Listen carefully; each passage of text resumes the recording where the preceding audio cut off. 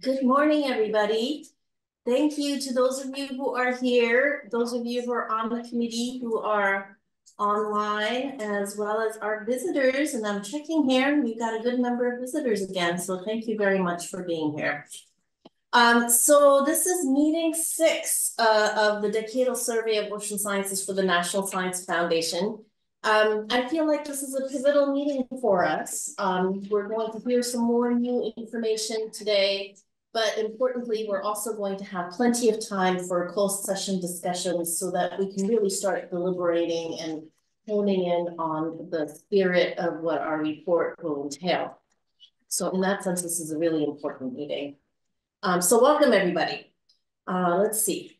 Uh, Kenna already uh, spoke about the fact that the land that we're on um, uh, is really land that the Narragansett Nation, as well as, oops, um, as well as the Niantic people lived on for generations and generations. And this is a really important consideration to think about in all of our meetings. Everywhere we met, um, we started out with a land acknowledgement um, and about, um, we talked about the importance of stewarding the land um, for the next generation, as well as the ocean in ways that, um, that are really sustainable. And so what does that look like to approach the work that we're doing here with that intentionality?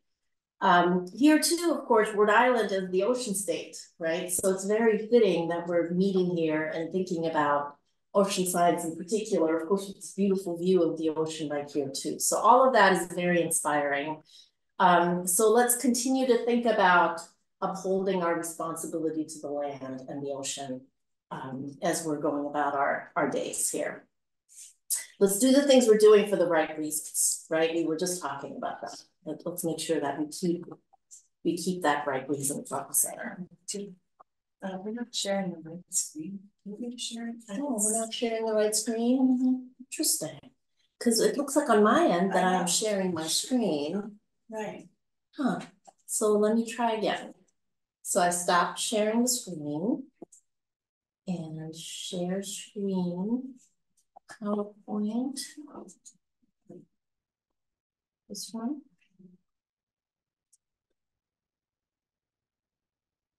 There you go. Oh, You see there? Yeah, yeah. So there is the land acknowledgement. Um, okay, uh, expectations of conduct. We go through this at the beginning of all of our meetings. Um, really, we want to make sure that all of the voices are heard and that we listen respectfully. Um, and we look to uh, everybody's commitment to upholding these standards that the National Academy has set um, and this includes, of course, the committee itself, but also anybody who's participating uh, during the open session times. Um, no form of discrimination, harassment, bullying will be um, condoned. And so let's make sure that we um, hold each other to, to these standards. Just give me another minute to have a quick.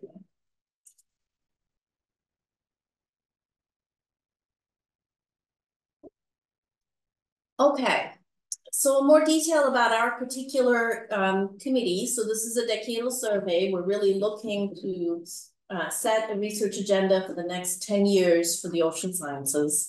We have 24 months to do this work. Um, much of the beginning months were dedicated to our interim report. Many of you will remember that um, NSF asked us for an interim report on ocean drilling with some very specific questions that they asked us, and we tried to stay very true to our statement of task in that case, and so will we try to do so in this case, in the case of the full report. Of course, our sponsor is the National Science Foundation, but we are thinking about the ocean sciences enterprise broadly, and we have representation here from folks who are familiar with other agencies other than NSF, so that's great. We have 23 experts on the committee, um, so it's a relatively large committee. It's a very diverse committee, both in terms of geographically speaking, um, people who are hailing from all um, parts of the, the country, but also in other ways in terms of, you know, uh, career stage and in terms of lived experience. We have a pretty diverse committee that's come together. Um, so we've already had five meetings. They've all been hybrid. Um, two-day meetings. We have monthly virtual meetings. We have subgroups that get together. This, this group has really been willing to do a lot of hard work. Um, many of our meetings are open and open to the public, and um, I have seen even in our monthly meetings, lots of participation, so that's great. Um, but then, of course, we do have some closed meetings for deliberations. And as per National Academy policy, those deliberations will remain locked up forever, right? It's only the report that will be coming out at the end of all of that. Um, and the, you know, the push and pull, the pro and con, all those conversations that we're having during closed meetings, um, that will remain closed. The, our interim report was released to the public in March 2024. We had a number of briefings regarding it and some feedback. Um, uh, and then we were able to leave that work behind. So of course, bring the conclusions into this next set of deliberations. Our final report is scheduled to be released in early 2025. We hope to have a draft out to review before the end of the calendar year. Okay, here's our statement of task. Um, and boy, we poured over the statement of task so much already. I feel like I know every word by heart. Um, but essentially, the first item on our statement of task relates to use-inspired, solutions-oriented research and innovation. So this really follows very closely to the comments that Ken already made earlier this morning before the open session started. Um, our second item in our statement of task deals with innovative, multidisciplinary, multi-sectoral approaches and really speaks to complex science challenges arising from that intersection between natural processes, societal needs, um, and the human and driven environmental change. Um, so this is the piece where we really get to talk about the complex problems that really rely on system-wide thinking. The third item on our statement of tasks talks about um, developing a priority of high, a portfolio of high priority scientific questions um, that have the potential to transform scientific knowledge of the ocean and its critical role. So this is really where we get to talk about the fundamental basic science questions, right? NSF funds basic science all around, but that basic science can be use inspired. So that's statement of task number one. It can be complex and require systems level thinking. That's statement of task two. Um, or it can just be basic, fundamental basic questions. And that's really the statement of task number three. Um, the fourth item in our statement of task talks about research infrastructure needed to advance these high priority questions. Um, so once we have nailed down one, two, three, then four will reveal itself, I think. And then statement of task item number five is developing a framework that OCE can use um, to leverage, complement the capabilities, expertise of its partners. And this can be uh, industry partners, other government partners. So this is a really important consideration to think about. Now, um, these are not all of the words that are contained within our statement of task. Um, certainly here uh, within the statement of task, and I believe it's within statement of task number two, there is explicit mention of workforce development. Um, so that's something that we need to take into account as well. All right, here are the committee members. Um, myself here at uh, Tuba Özkan-Haller OSU, I serve as co-chair along with um, my dear colleague Jim Yoder, who's associated with Woods Hole, as well as our host institution, University of Rhode Island, also co-chair. Um, I won't take the time to have everybody introduce themselves this morning, but you see, um, again, a large committee uh, hailing from both uh, educational institutions, uh, foundations, um, government institutions, so really a wide variety of expertise that we have present here today. Um, okay, so public uh, agenda for day one. Um, this morning, we're going to start with talking about research priorities in marine geology and geophysics. I'm very much looking forward to this session. Short break, um, and then we will continue our um, ocean life series, this time with a part two. Um, and then the public session will adjourn at 12.30 p.m. local time here, Eastern time. Tomorrow, we also have a short uh, public session uh, where we will talk about urban seas and coastal ocean priorities um, during the public session at one. So we'll have lots of time in the afternoons for closed deliberations. All right, and so with that, I think I want to hand it over to Maya, who will be um, who will be uh, uh, facilitating the first session of marine geology and geophysics. Okay, thank you very much, Tabitha. I am also really excited about the session this morning. We're talking about marine geology and geophysics, and I think it's a it's an area that often gets uh, left to the bottom of the list since it's on the bottom of the ocean. Mm -hmm. And but it's really the important plate tectonic engine that drives so much of what happens on our planet, both in our ocean system and our atmospheric system. Um, it really touches on all four, all five of our, sorry, so think of the tasks and um, it certainly has a lot of use inspired and solutions based work, but also um, is a really fun, a lot of fundamental basic science questions and certainly is a complex uh, system. And so we're, we have four speakers today, one of which is uh, currently in transit by normal plane or train, and so has pre-recorded her um, her talk. But we're going to have about 10 minutes for each talk, and then 40 minutes for conversation afterwards? Until 10.45, I think. Okay. So I think, are we going to hold questions until the end? It's up to you. Okay. Well, Maybe we'll have one or two questions after the talk and then and then but save most of the discussion uh, till the end. So we're gonna start uh, just we're gonna go through the order that it is in the program. So I'm going to invite Russ Parnell Turner from Scripps Institution of Oceanography to please uh, share your slides and start your talk. Thank you. Okay, uh, hello everyone. Can can you see my slides and hear me okay? Mm-hmm. yep. Okay. Uh, so thank thank you for the opportunity to come and um, talk to you today. I'm Ross Parnell Turner. I'm at Scripps Oceanography. Um, and uh, my plan this morning in my in my 10 minutes is to tell you about three of the biggest questions I think we uh, we face in marine geology and geophysics. And those are um, the first one relates to how heat, fluids, and matter are exchanged between the ocean and the crust. The second one is about how the ocean floor is shaped, and I'll explain a bit more about what I mean by that um, in a moment. And then thirdly, what role do um, does the incoming oceanic plate play in subduction zones? Um, and then uh, at the end, I'm just going to briefly uh, share some thoughts on marine geophysical facilities um, in the US. So to begin with, um, we it's really important that we understand how fluids, heat, and matter are exchanged between the ocean and the crust. And we really don't understand fully how these fluids are transported in terms of the pathways that they take. So the scale and the depth of fluid circulation systems like this one, this hydrothermal vent system on the East Pacific Rise, we don't know where fluids are recharged from, and we don't know how long those molecules spend in the subsurface.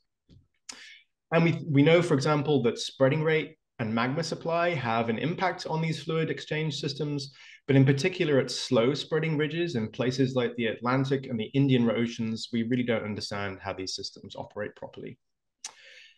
And this is societally important for a couple of reasons. Um, one of which is that we find the building blocks of life on mid-ocean ridge hyd hydrothermal vent systems, and not only on, on mid-ocean ridges, but also on older off-axis crust. And it's this off-axis area that has really been overlooked um, for several decades. And then finally, it's important to understand these delicate ecosystems because we're kind of in, going into a into a, a period when uh, seafloor mining is becoming more likely, and agencies and government bodies are starting to have to make important stewardship decisions about how these resources um, are managed. So the tools that we need to make progress here are things like the ability to take in situ samples with submersibles like Alvin and Jason in the National Facility. I'll talk a bit more about those in a moment. We need to be able to have the ability to collect data autonomously using um, robots that can operate over large areas of the seafloor. And we need to be able to collect samples using some form of ocean drilling, although I'm not going to dwell too much on that. So this is a map you've probably seen before of the global distribution of seafloor vents. So you'll notice that we have these little red dots located on the mid-ocean ridges, which are the black lines. And you'll see there's quite a few places where there are gaps. And that's likely not because there aren't any vents there, it's just because we haven't had the ability to look. So there's a large amount of the ocean where we haven't properly characterized the um, hydrothermal circulation systems on the ridge axis. You'll also notice these orange, you know, these yellow dots where we have um, licensed seafloor massive sulfide um, exploration areas. um, over here on the Mid-Atlantic Ridge and over here on the Southeast Indian Ridge, covering large areas where we know we have these active hydrothermal vent systems which support ecosystems. I said that we have action happening off axis as well. This is a cartoon that was drawn a few years ago now and appears in the final report for um, Ros Coggon's um, uh, IODP expedition um, that was published this year. So we know that we have fluid circulation on the ridge axis over here on the left-hand side of this diagram, but it's also very likely that there's exchange going on on crust that's much older. So this lower axis shows you on crust up to maybe 60 to 120 million years old. We still have this exchange between the oceans the sediment and the crust. And we really don't know how deep these hydrothermal fluids penetrate or what they control in terms of the limits of life um, down into maybe even the base of the lowermost crust. So the second question I'd like to discuss with you is what controls the shape of the ocean floor? And this is important because the oceans constitute a large portion of our planet and volcanism on mid-ocean ridges repaves that ocean floor. And it's important to understand from a first order primary um, uh, characteristic of our planet, but also it has implications for things like uh, seafloor roughness, which in turn plays a major role in things like ocean circulation and mixing. And we can also use what we learn about volcanic systems on mid-ocean ridges to understand volcanic systems on land and in particular, in the oceans, volcanic systems are relatively accessible and they're relatively simple, and we can use them to make uh, informed decisions about volcanic hazard assessment um, in places where humans live. Part of the problem is that we've only mapped about 30% of the seafloor. Some of you may have known about um, the Seabed 2030 project. And also we don't understand a lot about how melt, how magma is stored and transported within the crust. And we don't really know enough about how the composition of that melt might vary and determine how oceanic volcanism takes place. And we don't know how, um, for example, glacial cycles might impact the pace of volcanism. The tools that we might need to tackle this are things like long-term observations, so using observatories, measuring things like seismicity, so earthquakes that happen on mid-ocean ridges are very helpful, detailed mapping and seismic imaging, and measuring things like fluid temperature and geochemistry. I'm going to show you some examples of seismic imaging in a moment, so these are the results from a paper published um, by Milena Marjanovic um, just earlier last year. We're here on the East Pacific Rise, which is a very well-studied segment of the um, mid-ocean ridge spreading system. And here, for the first time, we've got uh, high-resolution 3D images of magma bodies. These are um, shown here on this panel on the lower, lower right. You can see these kind of bright reflection reflections. These are magma lenses that are about one and a half kilometers below the seafloor. And we can see them in 3D. I'll show you in a moment how these things look in three dimensions. This experiment was conducted in 2008, so quite a long time ago now, and is one of only two such experiments where we can image these magma bodies in the subsurface. So we're really hampered by the, the amount of observations that we have on these kinds of systems. And this is what those magma bodies look like in 3D. Um, they're uh, lenses that are oriented parallel to the ridge axis here, and we can see that they have this stacked kind of um, uh, geometry to them. And it's only with these 3D images that we can understand how these magma lenses um, uh, uh, behave uh, in the subsurface. So the last, the third and last question I want to talk to you about is how the history of an oceanic plate impacts subduction zones, where the lithospheric plate goes back in, into the mantle.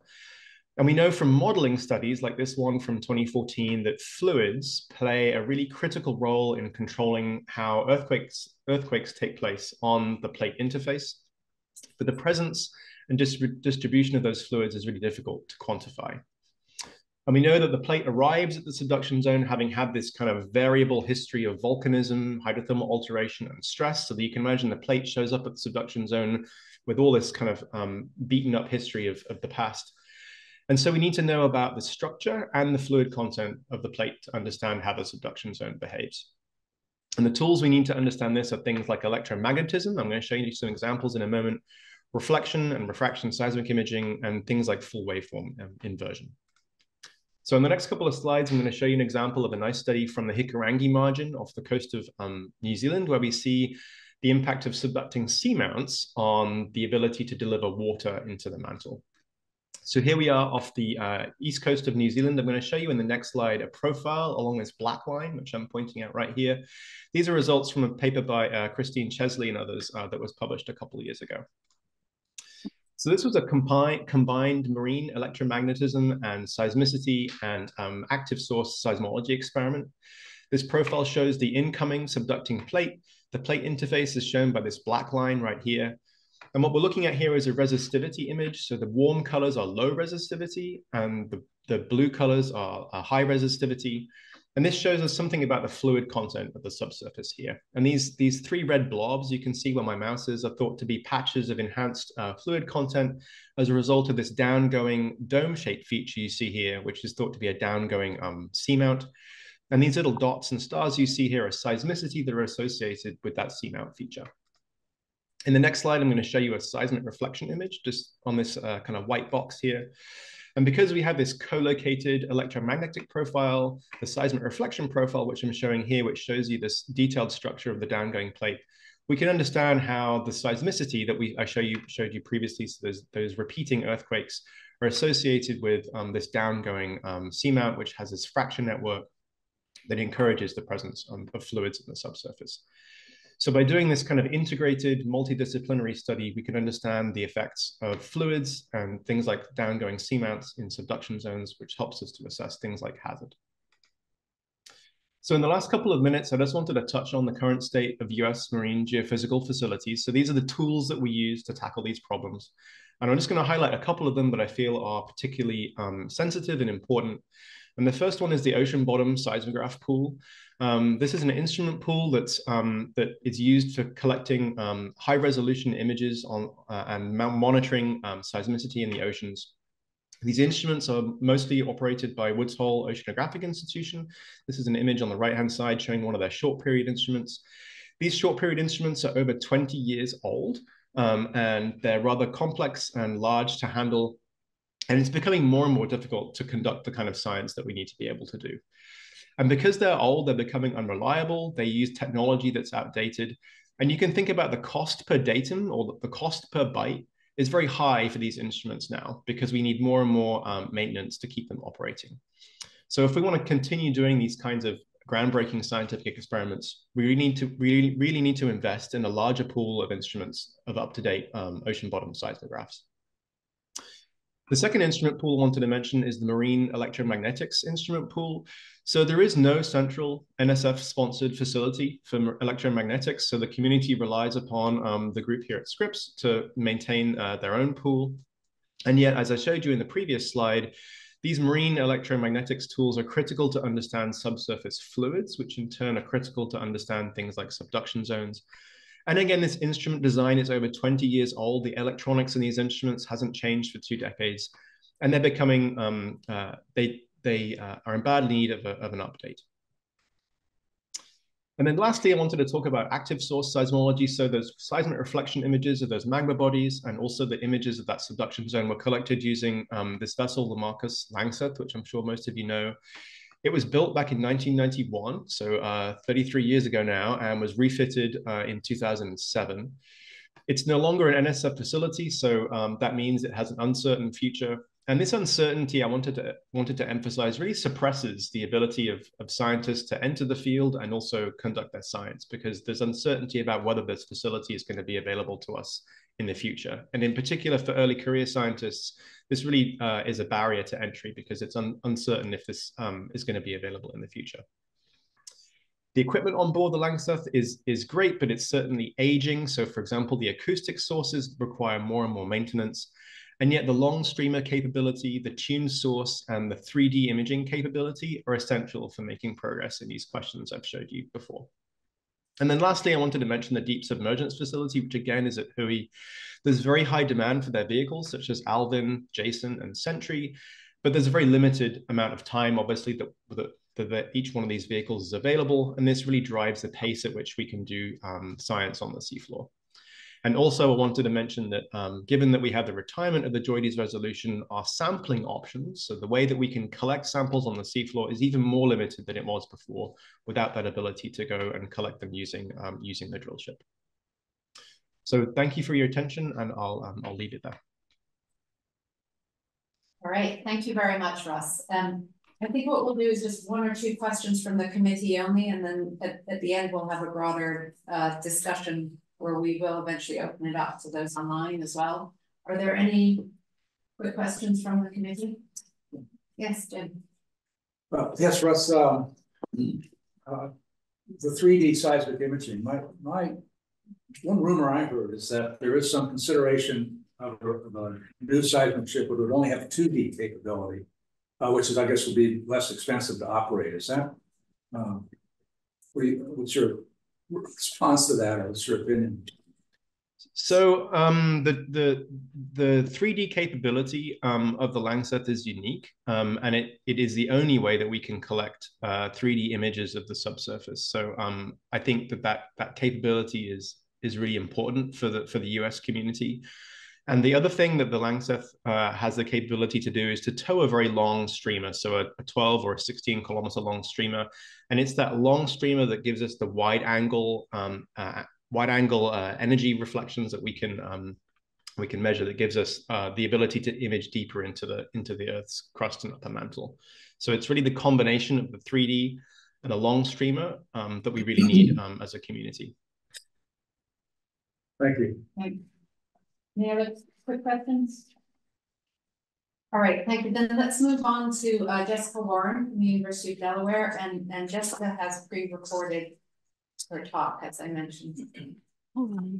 So Terry, this is just put that up, yes.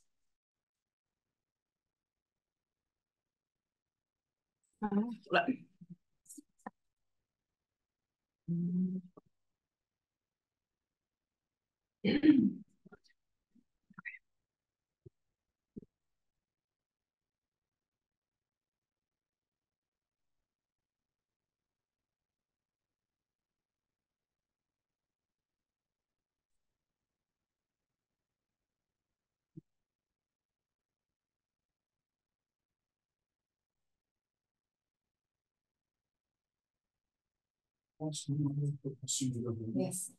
What's SMS SMS. Were you know that that that information? Oh, Oh, it is uh mining, seabed mining. Russ, there's a question slides, the SMS on the map slide. What was? The slide. Russ, do you It have? was mining. I think the M is mining, so. I'm on It's, uh, the SMS is seafloor massive sulfides.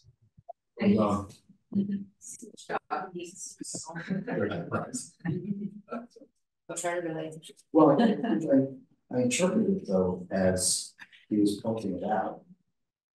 As massive sulfide for a Yes, particular reason, because Right. it was like certified. massive yeah, maybe we can get to that. Is that showing up on your screen? Yeah. Okay, let me know if you can't hear this on Zoom. Hopefully you can. Good morning. Thank you for inviting me to speak to this panel. I'm excited to talk about research priorities in marine geology and geophysics. What I'm going to focus on today is this question that we've uh, been looking at for a while with a group of collaborators, which is what drives the recurrence of large earthquakes, um, and specifically how we can use oceanic transform faults to explore this question. And this is really a multidisciplinary topic uh, that um, benefits from a whole variety of oceanographic um, instrumentation to study this. Um, and also, I should say that we focus on the oceanic lithosphere and faults um, in the oceans because of the simplicity of the rock types that we're looking at compared to looking at faults in the continent. But ultimately, in looking at the recurrence of large earthquakes in the oceans, we want to understand overall what's happening with earthquakes globally.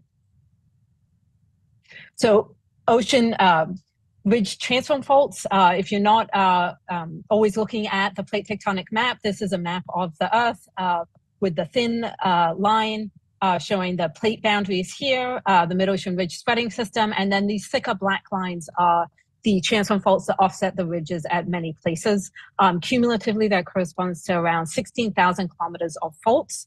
Um, but for the purposes of, lo- of looking at seismicity, what is really useful about them is some of the um, repeatability um, that occurs with some of these earthquakes that have allowed us to look at the seismic cycle at timescales that aren't really practical on continents. So I've just highlighted here the GOFAR area. This is on the East Pacific Rise. This is the fastest spreading ridge on Earth. And as a consequence, these are very fast slipping faults that offset the ridge. Uh, this is a zoom in now of the bathymetric map collected with shipboard. data, um, and this is showing it's actually there's a set of three faults in very close succession. So this is typical mid uh, East Pacific rise uh, mid ocean ridge spreading center here, and then it goes into this very large um, transform fault, the GoFar transform fault that has three segments with two offsets. Um, there's another bit of regular ridge here, and then the Discovery transform fault, another bit of ridge, and then the Quebrada transform fault. Um, these are slipping at a rate of about 12 centimeters per year. For context, that is around four times faster than the San Andreas fault. Um, and in this talk, I'm going to focus on the GoFar transform fault. And a lot of what I show you is going to be on this G3 segment, the westernmost portion, westernmost portion of it, which is um, among, I would say, probably the most studied oceanic transform fault for seismicity. So why are we so interested in looking at this fault? Well, there's a, a, couple of aspects of the behavior that are very interesting. I'm going to highlight some of them in this talk. Uh, so one of them is these uh, repeating earthquakes that occur every five to six years. So this is again our map of um, the GoFar fault and then also Discovery fault up here. The colored dots are earthquakes that are greater than magnitude 5 that can be detected by the Global Seismic Network. These are seismometers located on land. They can't detect all the small earthquakes that always happen on faults, but they can detect these large events that are accommodating the slip on these segments of the fault. And you can see here that the red dots, this is the same patch of fault rupturing approximately every five to six years. There's a yellow patch here, which is actually bifurcated in the past 10 years. That uh, middle segment also has this repeating stuff. Um, and so all of these segments have these repeating earthquakes. We now have a really nice catalog going back to 1990 when the um, network really came online. Um, the uh, black squares here and here are a um, ocean bottom seismometer deployment that was conducted in 2007 to 2008. And then the red box here is highlighting the more recent work we, which we did from 2019 to 2022 with two years of OBS deployments that we moved around um, on the GoFar transform fault um, with a focus of looking at the seismic cycle. So key observations are that there are repeating earthquakes on the seismically active sections of these faults. But in addition, there are sections of these faults that never have large earthquakes and they cannot be accommodating slip by earthquakes, at least not in the modern record. They must be undergoing some form of creep that does not give rise to catastrophic failure leading to earthquakes. Um, and that occurs on all of these segments of the fault. Um, but another aspect of these repeating earthquakes is that they are some of the most predictable earthquakes on Earth because the fault is slipping so fast, the repeat time is very, very short, which means that we can um, instrument the seismic cycle um, with a high probability of um, capturing an earthquake. Um, and this is indeed what we were able to do. Um, so in 2018, Margaret Boettcher led a group of us in writing a proposal. The goal was to look at the end of the seismic cycle and to have ocean bottom seismometers deployed around the fault. Um, and in the in the proposal itself, she said our proposed deployment of OBSs will cover a significant portion of the expected probability distribution function of each upcoming earthquake, with the goal that if we deployed, we had a high likelihood of catching one of these major um, magnitude six earthquakes during the one year to two years that we could have seismometers out on the seafloor. We deployed the seismometers in 2019, and in March 2020, one of the good pieces of news that we got was that there was indeed a large event right in the middle where we had deployed instruments on the G1 segment of GoFar. So that was really nice news. Um, we in total collected a lot of data on that project. I'm showing one snapshot of the data set, data set that we got from the ocean bottom seismometers. Um, this is work that Jianhua Gong is leading at University of Indiana. Um, the triangles here shows the seismometers that were deployed. Um, and then the um, all of these little white dots here, sorry, this is this is the fault, the G1 segment of the fault, and then this is East Pacific Rise. This is the little intertransform offset all of these dots are the seismicity, seismicity that was detected by the OBS array. Um, and so this is way more than we can detect from land, right? This is why we need the seismometers on the seafloor. And in addition, there's a huge amount of things going on in the fault itself that we're still um, working to understand. So we this is that main shock event uh, that happened in March 2020. You can see that there's this section of the fault um, that's very active leading up to it. It then shuts off. In contrast, these other two portions are relatively quiet, particularly this one prior to the main shock event, and then they have a lot of aftershocks associated with them. So there's um, behavior in these faults uh, linked to these main shock events that we are still working to understand what is driving the clustering of events, what is driving the shift in behavior along different segments. In addition, for example, this section um, that has a lot of seismicity leading up to the main shock event and then shuts off. That's actually one of these portions that never see large events that must be entirely accommodating slip by some creep mechanism. So there's a lot that um, we are still learning from looking at this seismic data. But one of the goals with this project was not just to collect OBS data, but to use a variety of other tools to explore the seafloor. So we were fortunate to also have um, Sentry aboard the last cruise to do some mapping um, of the seafloor. In the first cruise, we had rock dredging. And then in addition, Rob Evans uh, led um, an add-on project that did an electromagnetic survey of the seafloor. And overall, we wanted to understand the earthquake cycle on these faults to investigate why the barrier zones limit large earthquakes and also to understand the role of fluid flow for the fault structure. We um, think that fluid flow in these faults is very important in um, controlling the seismicity, but pinning that down is really challenging as an ongoing effort um, to understand. One of the things we did for the first time with this fault was to actually sample the fault itself. Um, there's been very few faults uh, globally on the seafloor that have had any sampling of the fault zone. For the GOFAR um, fault system, there had been a lot of work on the seismicity, and yet no samples have been recovered from the fault zone. So we conducted a set of 10 dredges on the G3 segment uh, during the 2019 cruise. We targeted this very small ridge you can see here, here, here. That um, from the shipboard bathymetry was our estimate of where the fault was outcropping on the seafloor. Um, just to zoom in a little bit on that, and sorry, I should say we also collected a bunch of breccias. These are basalts that are being crushed up in the fault zone. They represent the products of intense deformation in a brittle field. Um, and they also have are extensively hydrated, so they are telling us a lot about the changes that happen in the fault. But another aspect I want to highlight is that from the shipboard bathymetry, this was what we could estimate was the fault itself. Um, fortunately, two years later, we were able to go back in with Sentry and run these very high resolution near bottom surveys um, using Sentry to map the seafloor with multi-beam. And we have incredible detail in these maps now. So this is the fault zone. This is that little ridge that I was showing in the previous slide. When you zoom in even further in the high resolution maps, um, you can see that the fault is outcropping on the seafloor. We have photos from Sentry showing fault scarps. You can see a zone of disrupted seafloor before going to smooth seafloor. You can also see our dredge tracks um, that are plotted on top here, and that if we had had the judge the Sentry data before our dredging, we would of course um, run the dredges differently and run from the south um, up this ridge because this is really where the true fault zone outcrop is. But with the sea, the shipboard bathymetry, um, we did the best that we could at the time. Um, but again, this is one of the key reasons why actually using Sentry ahead of dredging is um, can be a very useful tool. Um, and then another component of this project was looking at, electro at electrical resistivity. These are results from Christine Chesley. They're very striking results. So there were three transects run across the, um, the G3 segment of GOFAR. This is, um, here she's highlighting the results from one of those profiles. Um, and this is showing that they're very high conductivity, low resistivity anomalies at depth in the fault, as well as at shallower sections of the fault. Um, the amount of this um, anomaly suggests that there's a role of brines in the fault system. Um, this is still an ongoing uh, project to understand what is driving the generation of such a deep, high um, conductivity anomaly. Um, this is not something that we expected going in. This is also something where, um, you know, this is uh, the only profiles we have of a transform fault. And so interpreting them in the absence of knowing what other faults look like is challenging because we don't know if this is an unusual result that we happen to pick a very um, odd system or if there's something very typical of the transform faults overall. So to go back to this question of what drives the recurrence of large earthquakes, we think that fluid flow is very important in these systems. We see hints of it in the samples that we collect, in the EM data. Um, there's also seismic refraction data that indicates high porosity, also suggesting fluid flow. But we're still working to be able to really link that fluid flow that we think is happening to what is driving sections of the fault to have large, um, large earthquakes versus sections of faults that never have large earthquakes and must un be undergoing creep.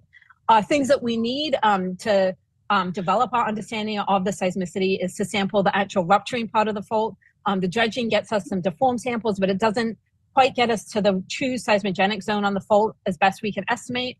Um, we need ROV or HOV transects of the fault to look at fault outcrops to be able to sample the outcrops themselves. Um, we need to look at additional faults, particularly ones that are slipping at rates closer to continental faults, um, to look at what that can tell us about controls on um, slip behavior on faults. And I should also say that we uh, need seafloor geodesy to look at the creeping on these faults. We know from on land faults and from subduction zone systems that, that there's a lot of slow slip and creep in these fault systems, but until we have geodesy, we're really struggling to capture that in detail on these um, oceanic transform faults. So I'm just going to take a couple extra minutes because I was told I could take a little bit of extra time, um, fortunately, because I'm not able to attend this session live. And I want to highlight some other aspects of this. Um, so this is um, the fact that uh, we were able to do a lot of workforce training in multidisciplinary science. Um, the GOFAR project involved the GoFar project involved um, about 20 undergraduates, grad students, and postdocs, in addition to scientists and um, uh, professors that were on the ship. Uh, we had about, um, I think, six or seven institutions involved in the end. Um, and some of the early career scientists that were involved in this project have gone into careers in academia, industry, and government. Um, so it's been really uh, pleasant to watch uh, the progression of participants in this project. Um, we also uh, published an article last year that Margaret Boettcher led in EOS, um, talking about both the challenges of conducting fieldwork during COVID, but also ways in which we adapted our model for both shore-based and seagoing science, and the way that we were able to bring additional participants into the project uh, through doing that. Um, so this, uh, these types of projects inherently expose um, all the participants to multiple fields of science and give them a lot of training in um, these big field campaigns. Um, and then uh, thinking ahead, um, what are the research infrastructure needs? So one of the big challenges we have at the moment is with dredging.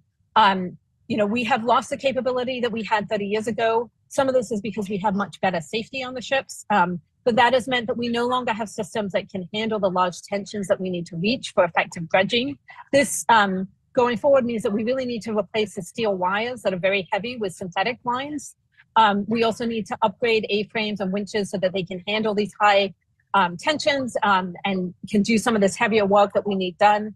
These types of upgrades that would benefit dredging would also benefit coring uh, systems as well as mooring deployments that are using heavy systems. Um, so I think this is, is something that would benefit the ships overall. Um, and there's also going to be increased demand for things like dredging and coring as IODP goes offline and we need to use other techniques to sample the seafloor. Um, and then uh, in terms of facilities, I just want to highlight that this project really benefited from a lot of facilities. Uh, deep submergence is really state of the art. The tools we have access to is, is absolutely amazing. I think the main challenge there is their limited availability. Um, and in some sense, upgrading other equipment would take some, but of course not all the pressure off of using um, HOVs, ROVs, and AUVs. Um, ocean bottom seismometers, also high demand, amazing data that we get out of this. This is also an aging instrument pool for which there's a lot of concern about the long-term plans um, and access to this equipment. Um, the marine electromagnetism, this was a great add-on to the experiment. Um, there's definitely a need for facility and wider access to this equipment. And then seafloor geodesy is really in a nascent stage in the US. Um, more development is needed, but there's a lot of um, important science questions that can be answered uh, by developing this as well. From our perspective for faults, for looking at creep and slow slip on these systems will be really key. Um, and then the final thing that I want to say is just the ship infrastructure. Um, this project needed global class vessels. There's a huge demand for these ships. There's a need for increased capabilities. As I said, there's some refits such as synthetic wires, would, which would improve aspects of these ships, but there's also a need for long-term planning so that the US can remain a global leader in marine research. So with that, I'm just gonna leave some of our main priorities up on the screen to finish, and I'd like to acknowledge as well that um, this project benefited from a collaborations with a whole bunch of people as well as discussions about facilities with the people listed on this slide. Um, it's really been a pleasure to work with this group. So thank you very much. I'm sorry that I'm not available to answer questions uh, in person, but I would of course be happy to answer questions by email. Thank you. All right, well, thank you to, to Jessica and sorry she couldn't be with us. We will move straight on to uh, Frieder Klein from Woods Hole Oceanographic Institution to share your slides?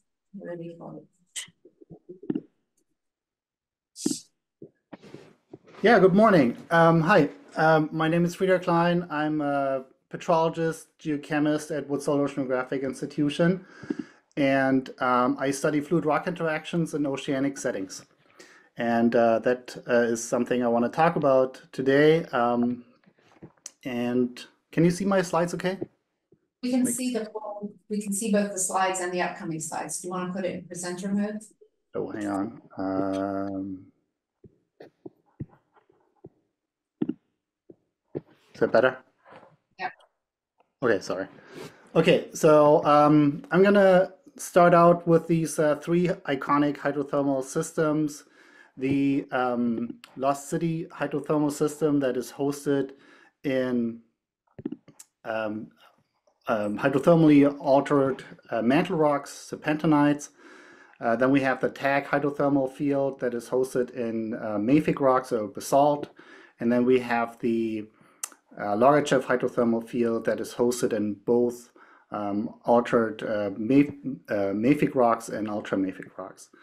And when we look at the fluid composition of the vent fluids that are emanating from these structures, we can see some significant differences. So for example, the pH of the Lost City hydrothermal field is uh, uh, significantly higher than that of the Rainbow, uh, the, the Logachev and TAG hydrothermal fields.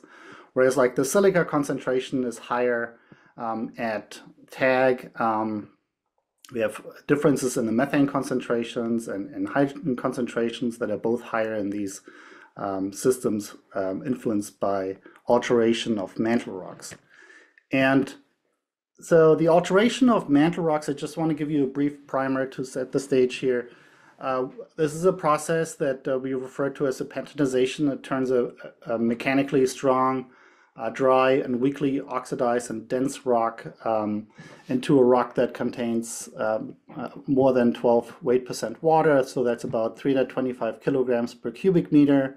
It's less dense and um, mechanically weak uh, strongly oxidized and, and that process because it takes on water and turns hydrous anhydrous minerals like olivine and pyroxene into hydrous minerals like serpentine group minerals and brucite and so on. Um, that uh, causes a volume increase of about 40%. And so uh, some of these uh, uh, changes that we're observing are more or less linear, whereas others are highly nonlinear, like the, um, the shear strength of the, the altered rock uh, dramatically decreases with a, um, a slight uh, increase in the extent of the serpentinization. And along the way, we form um, hydrogen and methane um, as, as iron is being oxidized uh, by water. And uh, these volatiles play important roles in the sustenance of microbial life uh, below the seafloor. Now, when we look at this map here, you can see that there's a um, very, uh, uh, there are big differences in the full spreading rates when you look at the Atlantic, um, Arctic, and Indian Oceans uh, when compared to to the um, the Pacific Ocean, where spreading rates are much faster. So in the Pacific, we have layered uh, oceanic crust um, that forms an intermediate to super fast spreading ridges. So we have uh, uh, the, the typical layer cake structure uh, the, the thickness of these individual layers uh, vary somewhat, um, but overall we have a more or less homogeneous uh, structure. In contrast, um, slow and ultra slow spreading ridges create oceanic plates that are much more heterogeneous. And uh, shown here is a, um, a cartoon from uh, Jeff Karson's um, uh, book, Discovering the Deep, which I highly recommend.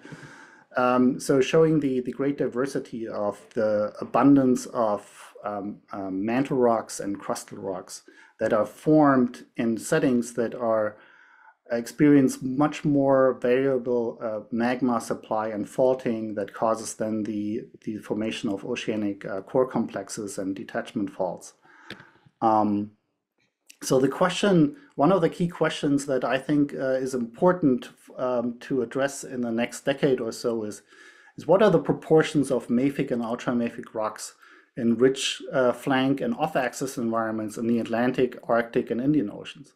So much of the work that has been done thus far uh, is uh, limited to uh, the oceanic ridges themselves, but we know very little about the uh, ridge flanks and off-axis environments. Uh, Ros was um, talking a little bit about that uh, earlier. So, and then related to that, how deep does um, the aqueous alteration below, extend below the seafloor? And we have um, a few constraints from seismic studies um, along the global mid-ocean ridge system, and you can see that there is a uh, increase in the depth below the seafloor, where at which um, earthquakes occur, which defines kind of like the, the, the brittle ductile transition zone um, and the possible extent of hydrothermal alteration. So that increases with, um, the depth increases with decreasing uh, full spreading rates. Now, how that changes off axis, uh, we do not really know. And that's a big question. Like, is there, uh, how far off axis does um, hydrothermal alteration extend? And, um, but also then, how far off axis and how deep does uh, weathering, uh, so low temperature alteration of these rocks extend. And when we look at um, weathering of altered basalt, um, here is a compilation by uh, et al. 2013. We see that there's quite a bit of water in um, in altered basalt, as well as CO2, although that seems to be more limited to the upper parts of the um, extrusive, extrusive sections. Now, on the right here are um, uh, CAT scan uh, images of um, weathered um, hydrothermally altered mantle rocks, so whether serpentinites, and these very dark patches indicate porosity. So that porosity is an indication of dissolution of minerals, and dissolution of minerals in seafloor environments generates alkalinity, and alkalinity is very important uh, for the, the, the, balance of, uh, of uh, seawater chemistry and how it um, uh, uh, and its ability to absorb CO2 from the atmosphere.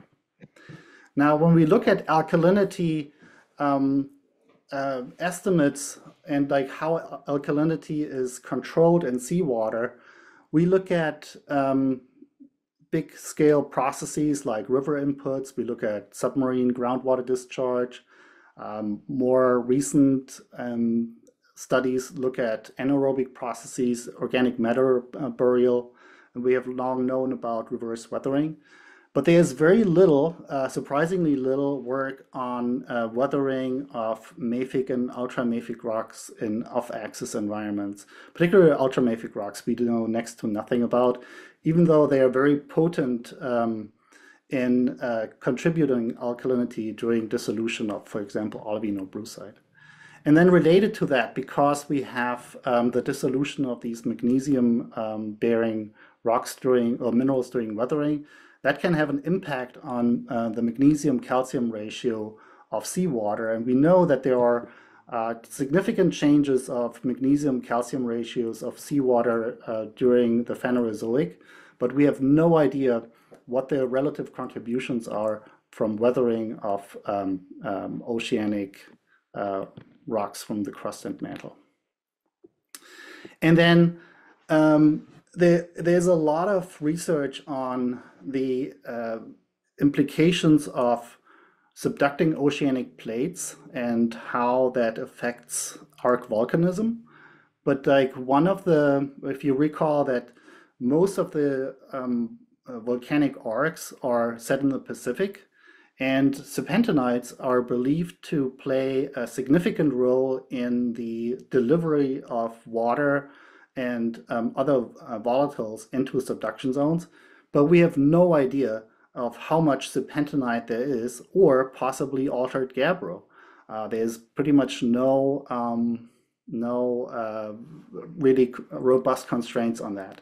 And here too, we don't really know what the depth of aqueous alteration is and how um, that may change off axis. And there are like a lot of simple, probably uh, best guesses uh, for now that, you know, the, the thickness of the lithospheric mantle that is altered uh, here is indicated as 375 meters. Whether that's correct um, or wrong, we really don't know uh, right now. Um, and what the thickness of the altered oceanic crust is.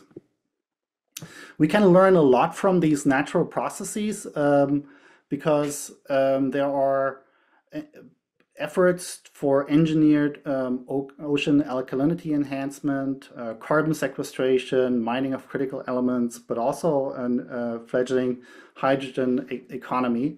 All these processes are taking place in nature and there's lots to be learned. I think there's a lot of opportunity for synergy um, from uh, from these natural processes for um, um, um future efforts.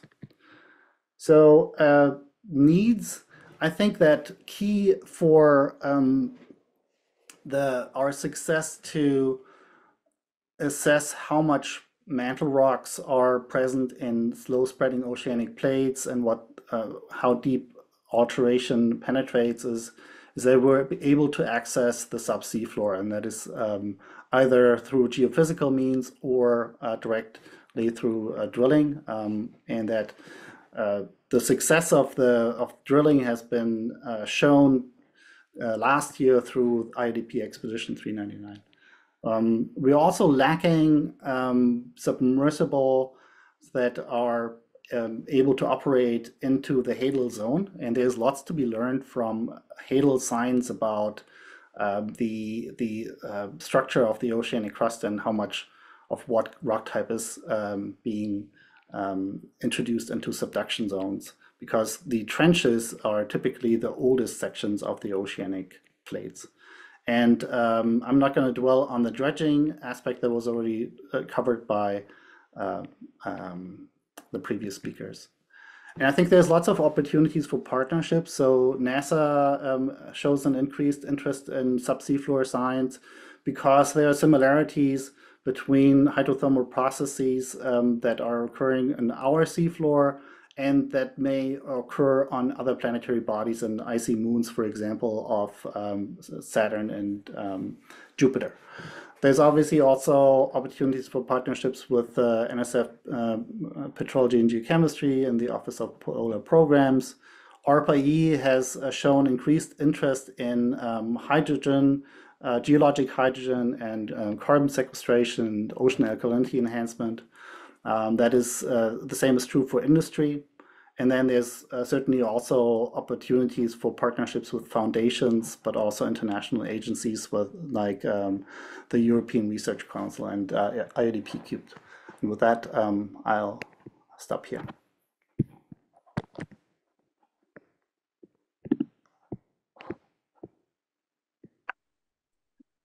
You're good. All right, and that will, we'll move on to uh Jackie Caplan Auerbach, please, from Western Washington University. Jackie, you're there, go ahead. Yeah, can you hear me here? Yes, All right, Let me turn this into presenter mode. Can you see the screen okay too? yeah. Great. All right. Well, thank you all so much for for inviting me to be here and for the previous speakers. Um, I'm coming to you from Coast Salish lands, our uh, people of the Northern Strait who have been the stewards of our land over here. And I'm going to talk about uh, sort of you know material that crosses over with a lot of what you've already heard. I'm going to talk a little about volcanism in the world's oceans. And when we talk about this, I'm going to include sort of aspects that are mid-ocean ridge volcanism and ocean island volcanism and arc volcanism. And, and that includes both deep volcanism and those eruptions that actually cross the sea surface. So we're looking at something that sort of spans the full range of, uh, um, of regions there, of sort of the, the parts of the oceans. So you know, one of the statistics I give in my classes a great deal, and I hear people talk about is this one that's something, you know, the numbers vary, but something on the order of 75% or more of the planet's volcanism occurs beneath the sea. And I think what that really means, because we actually don't have a great sense for what happens beneath the sea, I think really what that is saying is that the amount of igneous rock production is something on the order of 70, 75% beneath the oceans we have observed in our time, by which I mean actual, you know, visual observations by ROV or, um, yeah, largely by ROV, only two deep eruptions. We've had a handful of other eruptions for which there has been in situ instrumentation, but for the most part, we haven't had close-up views on how these processes work. And so what I want to talk a little today is that we've got some major gaps in our understanding of these processes and their associated hazards, and to talk a little about what some of the best approaches we might have to addressing some really fundamental questions. Um, I very deliberately started with a, a, satellite image here of the eruption plume from the Hunga Tonga eruption of just a couple years ago because I think that really illuminated for us some of the significant hazards and the significant open questions that exist in, uh, in the world of submarine volcanism. So this is a figure from a recent review paper by Tepp and Dziak, and this is showing something on the order of about 60 submarine volcanic systems that are known to have erupted in the last hundred or so years. And this is sort of all we know with respect to what types of eruptions there are um, in the oceans. Most of these you'll see are in arc settings. So for example, the Marianas and the Kermadec Arc. Um, there are some that are proximal to land elsewhere. For example, axial seamount in the Pacific Northwest. And um, this one calls it Loihi, now called Kama'ehua Kanaloa in Hawaii. A lot of what you're seeing here is a question of where do we have instrumentation? So we know from, again, seafloor maps, which, you know, and, and, and other research, and of course, um, just our knowledge of plate tectonics, that there should be volcanism all over the seafloor. But what we see is really, really limited. And that probably has more to do with where we have instrumentation, what we've been able to observe. Um, I'll note that these come in a range of depths. These are color coded in this image. So the darker uh, triangles you see here are the deeper ones. So most of what we know are still these very shallow eruptions. So the vast majority of activity, which is on those mid-ocean ridges, we have never captured and we know very little about. So I want to bring up some of the fundamental questions that I think we have about seafloor volcanic systems, because these are going to inform where we need to go forward. Most fundamentally, we simply don't know how often these volcanoes erupt, how frequently, with what volume, um, and again, in these different systems, Ocean Island versus mid-ocean ridge, et cetera. Um, this has implication for the global magma budget and the life cycle of oceanic crust, how much crustal production there is at the ridge, um, how much, of course, is subducted into, uh, into trenches on the other end.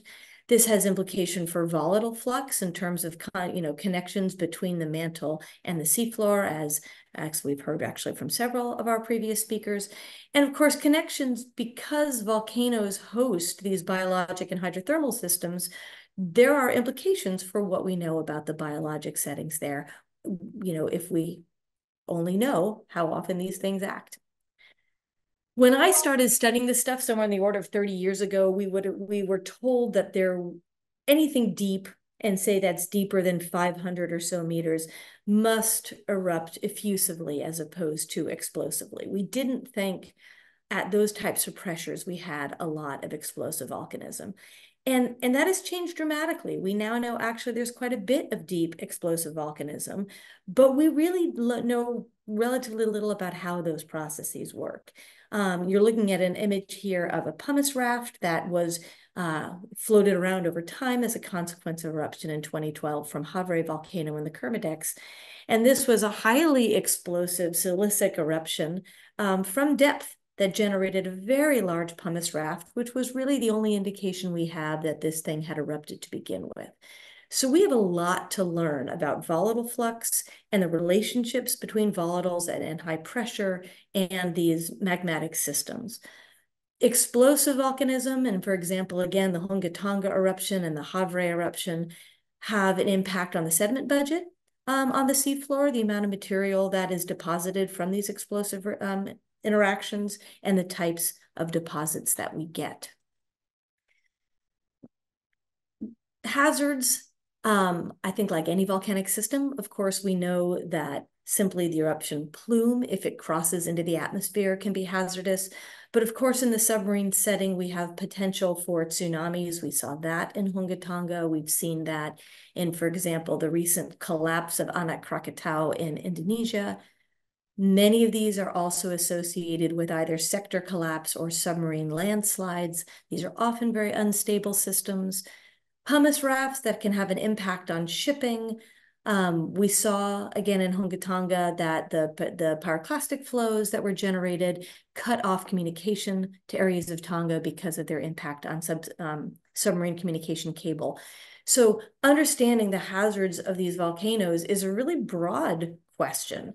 How often do these occur? How often do they impact our subsurface structures? What are the risks to communities who live, for example, in island and coastal nations?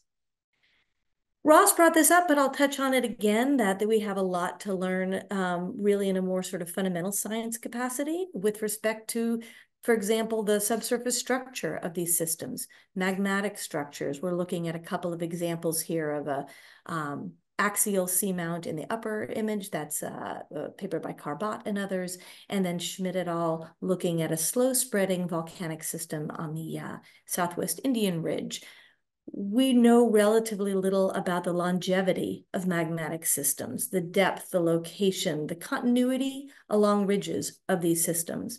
That again has implications for plate tectonic systems, for spreading rate, for the flux of magma, again connecting the mantle to the sea surface. Um, hydrothermal systems, of course, have are impacted by where these systems lie, where we have the heat sources for hydrothermal activity. And of course, plume ridge interaction remains a really fundamental question in terms of how those two things might connect these magmatic systems. So these are really fundamental questions about how volcanoes behave in areas where we need instrumentation to, to be able to observe and answer these. So again, going back to something that Ross said, submarine volcanoes are in many respects simpler. They're easier to model. I have an image here of uh, West Mata, an eruption West, West Mata volcano. And one of the extraordinary things here is that you could actually see these eruptive activities better because the water in the plume simply goes into the water and the seafloor, and we can see some of the activity happening better in respect, many respects than we can on land. But of course, they're extremely difficult to access we would love to know about these systems without having to go out and do an individual study on everyone, putting a few instruments somewhere locally, coming back later to see what happened while we were gone. So another image that I'll share from this review paper by Tepp and Dziak um, are some examples of how we might use ocean bottom seismology and ocean bottom hydrophones or moored hydrophones that sit in the low velocity zone in the oceans to detect some of um, the seismic signals or infrasonic signals in the case of land-based um, instrumentation to understand submarine systems. And so I'll make a little bit of a case here for this instrumentation. We've heard about the need for uh, robust, um, newer, let's say, uh, less aging ocean bottom um, seismic pool. But I'll also add that there are uh, advantages to also understanding the sounds that these make hydrophones are an exceptional way to understand what goes on in the world's oceans. And I want to give just a, an example of this. Um, you're looking at, at a spectrogram here. So this is a time series across the top. We're looking at, you know, something on the order of several hours. You can see the amplitude of the um, acoustic signal. That's the sounds generated by a deep submarine volcano, West Mata in the Tonga Arc. And then in the colors, you're looking at the frequencies of sound that it generates. So low frequencies at the bottom, higher frequencies at the top, and the amplitude of the signal is the volume of sound. Um, and so what you're looking at in this case is pulses in these broadband, these, these signals that range across frequencies of the sounds of an eruption at West Mata. This is not a volcano we can see. This is not a volcano on which we have immediately proximal instrumentation. These were hydrophones that were deployed for several months at a couple tens of kilometers away. But we can see a pulsating signal that it gets loud and quiet and loud and quiet, and that changes sometimes in amplitude and duration of these signals. And work that was done on Northwest Rota 1 volcano, which is quite similar, this is work by Bill Chadwick and others, suggests that these types of eruptions have to do with slugs of gas that come out and burst through the um, either sort of a lava plug at the top or maybe fragmental material. So we may be looking at the signals of different slug size, different gas contents, different eruptive behaviors simply by listening to these sounds.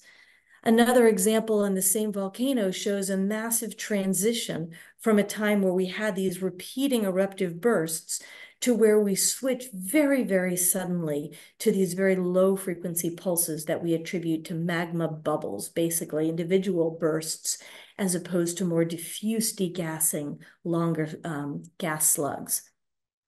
So simply by listening to these sounds, we can start to get a handle on some of these submarine processes that cannot be easily, easily observed even on land. So it's a real opportunity, I think, for us to get a better handle on volcanic processes more broadly. One more thing I'll leave with, um, this is an example from that same hydrophone network in West Mata. We can see four different stations, spectrograms showing things like T phases, that's an earthquake that occurred distantly, and this broadband signal in the middle. And if we look toward the bottom here, you can see these sort of swoops of, of frequencies that go from high to low. That's a process that has to do with the geometry between the source of the sound and the location of the receiver. And when sound bounces off the sea surface, it produces these um, constructive and destructive patterns that tell us what we're seeing here is a moving source. The fact that those frequencies change mean this moves. And this is one of the first images we have that allows us to, to track and understand the behavior of a submarine landslide in the deep oceans, that we know this is something that is sliding along the flank of the volcano. So by listening, we have a window into some of these potentially hazardous processes. So you've heard a bunch about these already. I'm going to kind of reiterate some of them, some of the critical instrumentation that we have to understand submarine volcanic systems. Ocean bottom seismometers, like the one you see pictured here, um, are really a critical portion of our ability to do either campaign or potentially things like we have in the Ocean Observatories Initiative, cabled instrumentation that allows us to look at things in real time. Um, seismic studies also have the potential to, we could do active source studies where we can shoot to these things with instruments such as the Langseth that allow us to really uh, get some high resolution detail on the structure of these systems. Again, I'm going to make this plug for hydrophones in the oceans. They allow us to record very, very broadly across all sorts of volcanic features.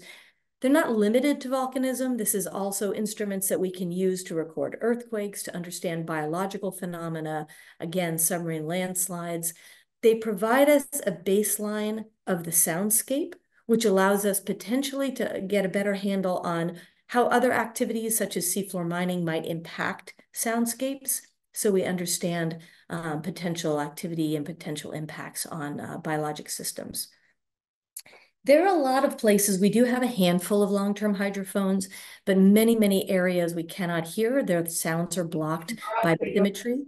Um, so just a few of these could have the potential to go much farther. And of course, I'll make one more plug for seafloor geodesy to get a better handle. Yeah, yeah.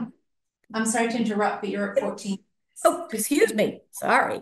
I tend to get too talkative. I'm done anyway. That is the final slide. So thank you for stopping me. Okay.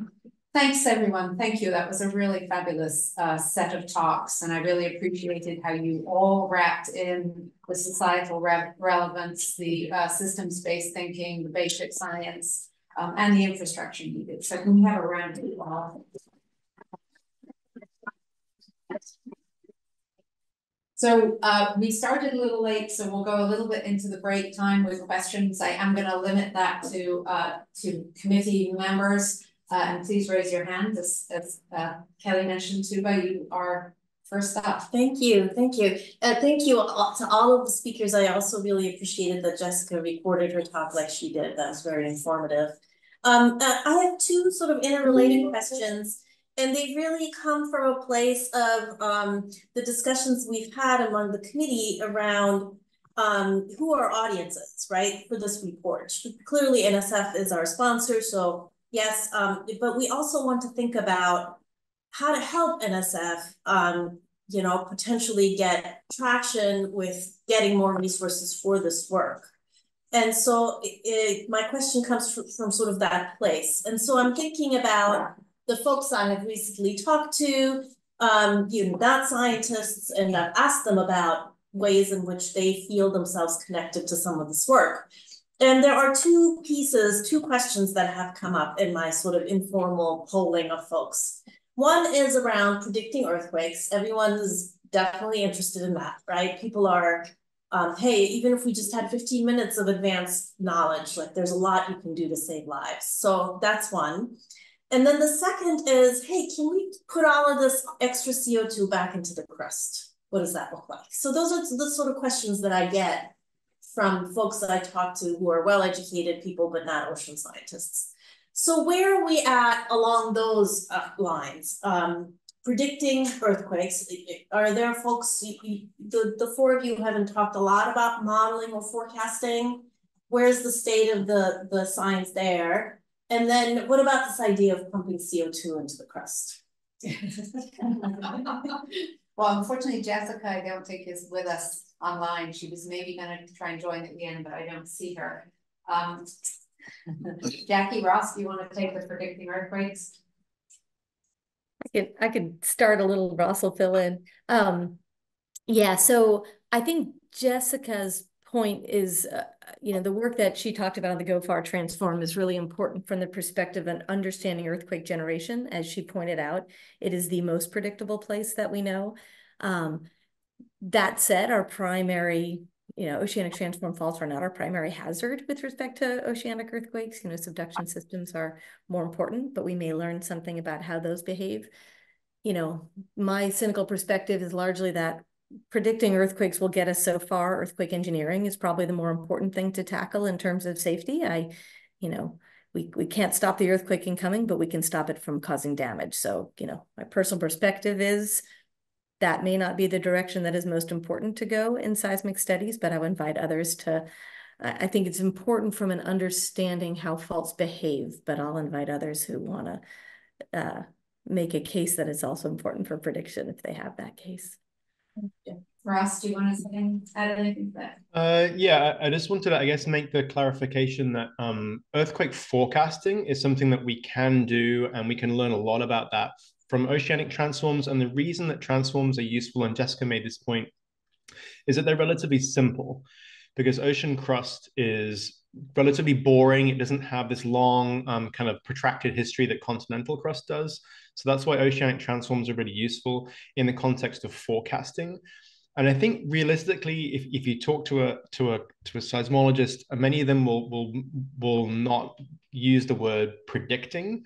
I don't think earthquake prediction is something that's helpful for us right now to think about. It, it's simply not a practical tra- practical and tractable problem. So forecasting is really where where we are. Um, and I think that's why in the oceans, oceanic transforms um, are useful. And, and, as Jackie said, they're not the primary hazard themselves, although there are some places where they might be. Um, they provide us with a simple laboratory in which we can test ideas about the impacts of things like fluids um, and rheology. Uh, Frieder, do you want to comment on the uh, CO2 sequestration? Sure. Yeah, I think um, you know there is uh, great potential to learn from natural processes, um, specifically mineral carbonation of uh, ultramafic rocks that are highly reactive in the presence of CO2. Um, you know, implementing um, CO2 injection below the seafloor is something that uh, you know um, is at various stages of development but I think that there's lots of work that needs to be done in order to understand uh, what the potential pitfalls and consequences are. And so I think that um, you know we need to put more efforts in studying uh, the natural processes to understand uh, what we could potentially do to the seafloor environment if we were uh, doing that at scale, right? I mean injecting CO2 in the subsea floor is not a is not necessarily you know a technically impossible uh, challenge, but like doing that at scale that makes a difference for um, our atmosphere. Um, that is something you know. It's just like the dimensions are very different. And like if I can add to to the to the CO2 and kind of make that forecast uh, of of seismic um, uh, events, earthquakes, and CO2 we had a recent study uh, published in PNAS on um, uh, mineral carbonation of peridotite in the St. Paul's transform fault. And one of the main minerals that forms during mineral carbonation is talc. And talc is a, is a velocity uh, strengthening rock or mineral that will then um, uh, create conditions that, uh, that would cause um, aseismic creep, so limit earthquake behavior. We see similar things in the San Andreas Fault as well, actually. Great, thank you. Ross, did you have something else to add to this conversation? I, I did, yeah. So um, if we want to in, inject CO2, CO2 responsibly, we need to be able to know where it's going in the subsurface. And the best tool for that is time-lapse seismic imaging. So that's taking a 3D survey before you start injecting CO2, injecting some CO2 and then doing the survey again. This is something that's routinely done in industry. in, in the context of CO2, so there's an experiment in the Sleipner field in, um, in the Norwegian North Sea where they've been doing this. But in the US, in the context of um, developing the workforce, if we don't have a 3D seismic vessel in academia, we have very limited ways in the academic community to do these kinds of experiments and train the next generation. So in able to, in order to monitor um, CO2 injection, we have to have this kind of facility. Thank you, Russ. Brad. Um, hi, thanks, uh, Maya. Can you hear me? Yes. Oh, good. Uh, so I think this question is for Russ, but others may pick this up as well, because several mentioned the issue of availability of ocean bottom seismometers. And, and I want to kind of pull at that thread a little bit to try to figure out what the key limitation is here. Just thinking that it could be just simply money. There isn't enough to buy them, organizational, a national facility to kind of manage them. But the third would be kind of the development of new technology what's constraining that? Is it private public partnerships? Anyway, I'll just throw that on the floor. Thanks. Thank you. So yeah, the, the limitation is that we we don't we simply don't have enough instruments to do the kind of high resolution experiments we want to do. And by high resolution, I mean you want to have instruments that are closely spaced and there's lots of them, so we can get high resolution um, uh, data sets.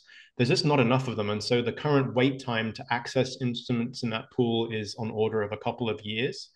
Um, and then, so a couple of us mentioned those instruments are old, and so it means that it's increasingly expensive to operate them.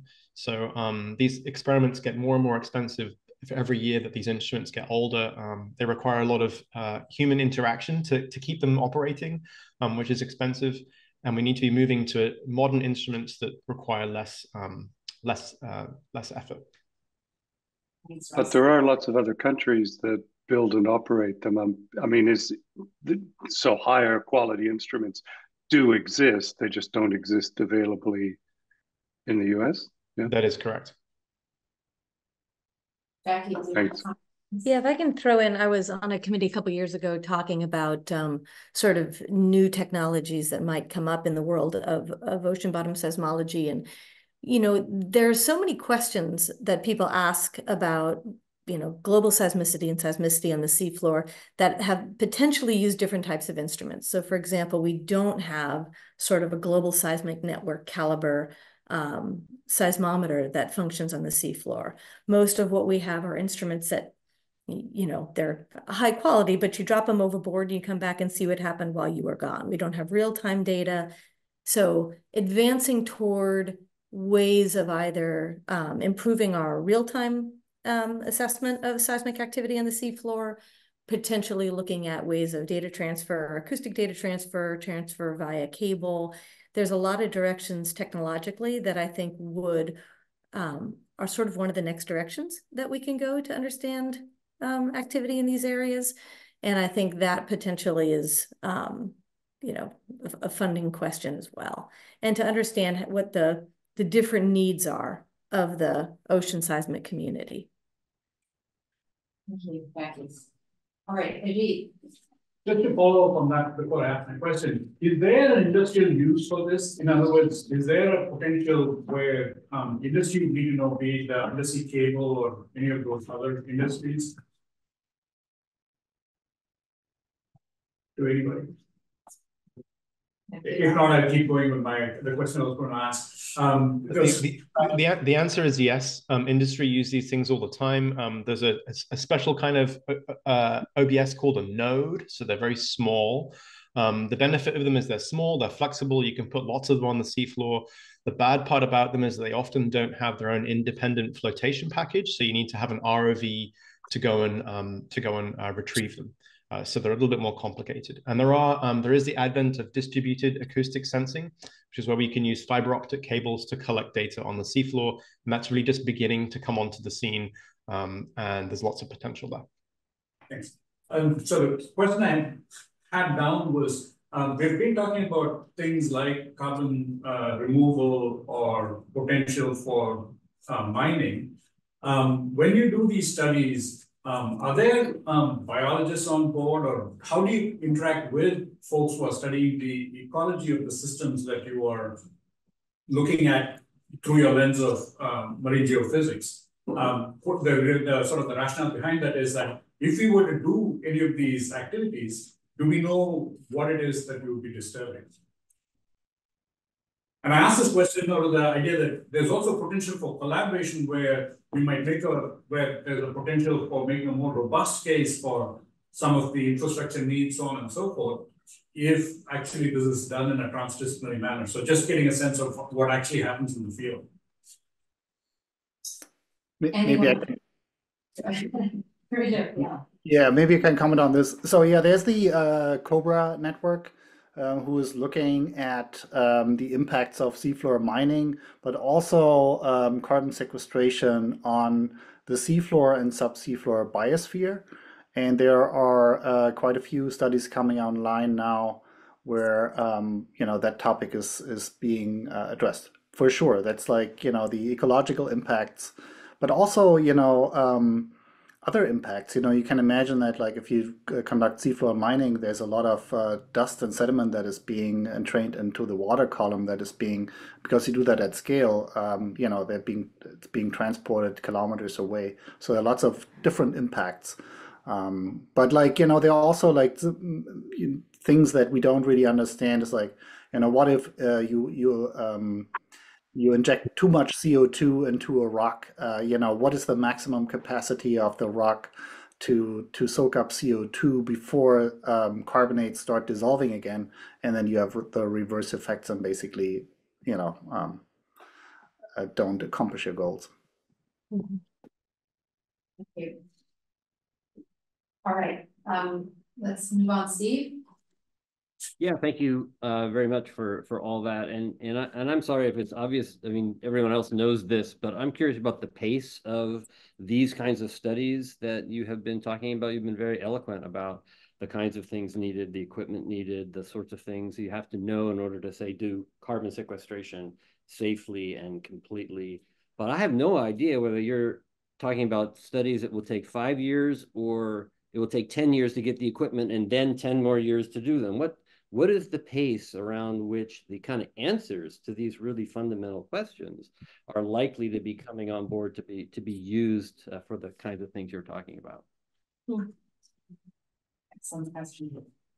Yeah, and I know there's no single and perfect answer to that, but then it's like I'm bringing up the topic. That's what I'm doing. I can chime in a little on, on the volcanism aspect. Andy, you mentioned carbon sequestration, but stepping back um, to my little niche, you know, there was one of the figures I showed talked about the detection of submarine volcanism, and you could see this massive increase in the number of, of systems that we'd seen recently. And I think it doesn't take a lot of instrumentation for us to massively increase our understanding of these systems because our knowledge base is, is fairly sparse. Um, so, you know, with my sort of obsession of, of adding hydroacoustic networks, a single instrument can detect things globally. So a very small increase, I think, in the number of instruments that could record these sounds could massively increase our understanding of how frequent these things are and what other types of processes can be recorded um, audibly. So that's one example where I think things could happen relatively rapidly with a few more instruments. Rita Ross, go ahead, or do you want to address the carbon? question? Sure. Um, yeah, I think that um, it's it's a good question. It depends on like um, you know what uh, scale of um, research project one would look at. Um, you know, there there are small scale projects that can help us um, better understand these processes on relatively short timescales. Also, because you know these reactions that are taking place are operating on relatively short timescales that are sort of on the the order of uh, human timescales, right? Uh, We, we cannot forget that, like, you know, some of these processes are taking a very long time and are difficult to observe. Um, but then there are um, integrated uh, larger uh, networks like the Solid Carbon Network in Canada that has uh, done tremendous uh, work on understanding, um, you know, what it takes storing carbon safely in, in the subsea floor and um, they have made progress over I want to say the last five or ten years, and um, you know that's kind of the timescales we're looking at. Thank you. I just wanted to comment on the timescales of, of eruptions. So um, For example, there's a study area on the East Pacific Rise where I showed those 3D images. We think that system erupts every 10 to 15 to 20 years or so. And what we really like to do is monitor that system through time. So um, I know Maya did a lot of work in that area um, uh, during its last eruption cycle. But because we don't have enough ocean bottom seismographs, for example, um, we're not able to have, it's currently not instrumented. So we don't know what's going on in terms of the seismicity there. But the, the pace of these eruption cycles can be as quick as five to 10 years. So on axial seamount, for example, and these, these places where the, the eruption cycle is relatively fast on human timescales, um, we, can, we can tackle these problems. And I'll quickly speak on behalf of Jessica that she showed in the figure of the GOFAR transform that it's every few years that we get a good sized earthquake out there. So monitoring for with a good network for a few years has really high capacity to or likelihood of our capturing something that can be very informative. Okay, thank you all. Marcia. Um, yes, so I wanted, I wanted to ask about partnerships. Have you guys um, talked with the Comprehensive Test Ban Treaty Organization? Uh, they have uh, sensors, acoustic sensors on the SOFAR channel all over the world. And another partnership might be the Smart Cable Initiative. That's on the seafloor. That's in partnership with some telecommunications. I think it's mostly around Europe right now. Yeah, the test ban treaty, the the hydrophones that are used for that have been, you know, incredibly helpful. They are also still limited in extent. There are a few places that that those um, instruments are widely available. Um, they've also gotten much better recently at data availability. For a long time, that was a real challenge, and I think that's improving um, happily. Um, but there are still large gaps. So that's a great start. And a lot of the, the examples that you saw in that figure from uh, Tepp and Dziak come from, for example, the Wake Array. Um, but I, I think, yeah, that's a great start. And there are partnerships with them for sure, but we need more. Great, thank you. So uh, we have two minutes left. So I'm, I'm going to just ask uh, one of the questions that didn't come up in uh, with regard to hazards is actually the ability to forecast eruptions and whether or not what we're learning on the seafloor uh, is applicable to hazards on land as well. So either um, Jackie or Ros, do you want to comment on that? Yeah, I think very much so. And I think, again, the, the fact that there are simpler systems in the oceans can offer us a very nice, simple window into things. And again, you know, it's easier in some respects to study these processes in that environment. We really need seafloor geodesy, though, to get a better handle on forecasting of submarine volcanism, because uh, that's one of the really critical things for subaerial systems, for on land systems, and it is in its, I would say, nascent stages in the oceans. Um, having, you know, Ros mentioned the axial uh, the axial network where we have real-time data coming in. It's one of the maybe the only place that there has been the forecasting of a submarine eruption because of deformation data that were recorded down there. And I think it's a great indicator that we can do these things with the right type of instrumentation. Thank you. Um, I just, one more minute since we have, I just saw a question in the chat from Kristen. Are there special needs for Arctic ocean geology and geophysics research? In like thirty seconds and Yes. There's um, there are the under ice um, are AUVs that we have, right? And so I think that there's a greater need for under ice um, AUVs and ROVs um, that go to greater depths and that also are allowing us, particularly than under ice ROVs that allow us to take samples from the seafloor um, in the ice covered ocean as long as it's ice covered. Great. Thank you so much again, everyone. Thank you for the extra time for this session. And thank you, Maya, for facilitating so expertly. Um, so we are five minutes past the half an hour. I think we have a break for ten minutes now. I've been accused to not allow it, that I don't allow enough breaks. So ten minutes, folks, that's a long time for a break. So just. This rest is right outside. We are back, um, and we have a session now on ocean life, and I believe Ajit's going to facilitate. Thank you all for um, calling in, being productive this evening. Um, I thank the speakers who are going to make the presentations. The format will be ten minutes of uh presentation by the speaker, followed by a couple of quick questions. And then uh we will use the time after all the speakers have spoken to have a more uh general discussion.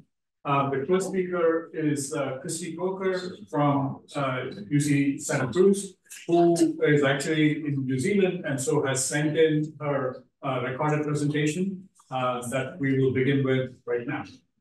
Good morning. My name is Kristy Kroeker. I'm a professor in ecology and evolutionary biology at the University of California, Santa Cruz. I apologize that I am sending a pre-recorded talk, um, but I am currently in New Zealand on sabbatical, and it's going to be about 3 a.m. my time when the meeting is actually occurring. So please send me any questions you have afterwards over email. So I was asked to talk about some of my research or my perspectives really on ecological change in dynamic environments as it relates to the work of the committee.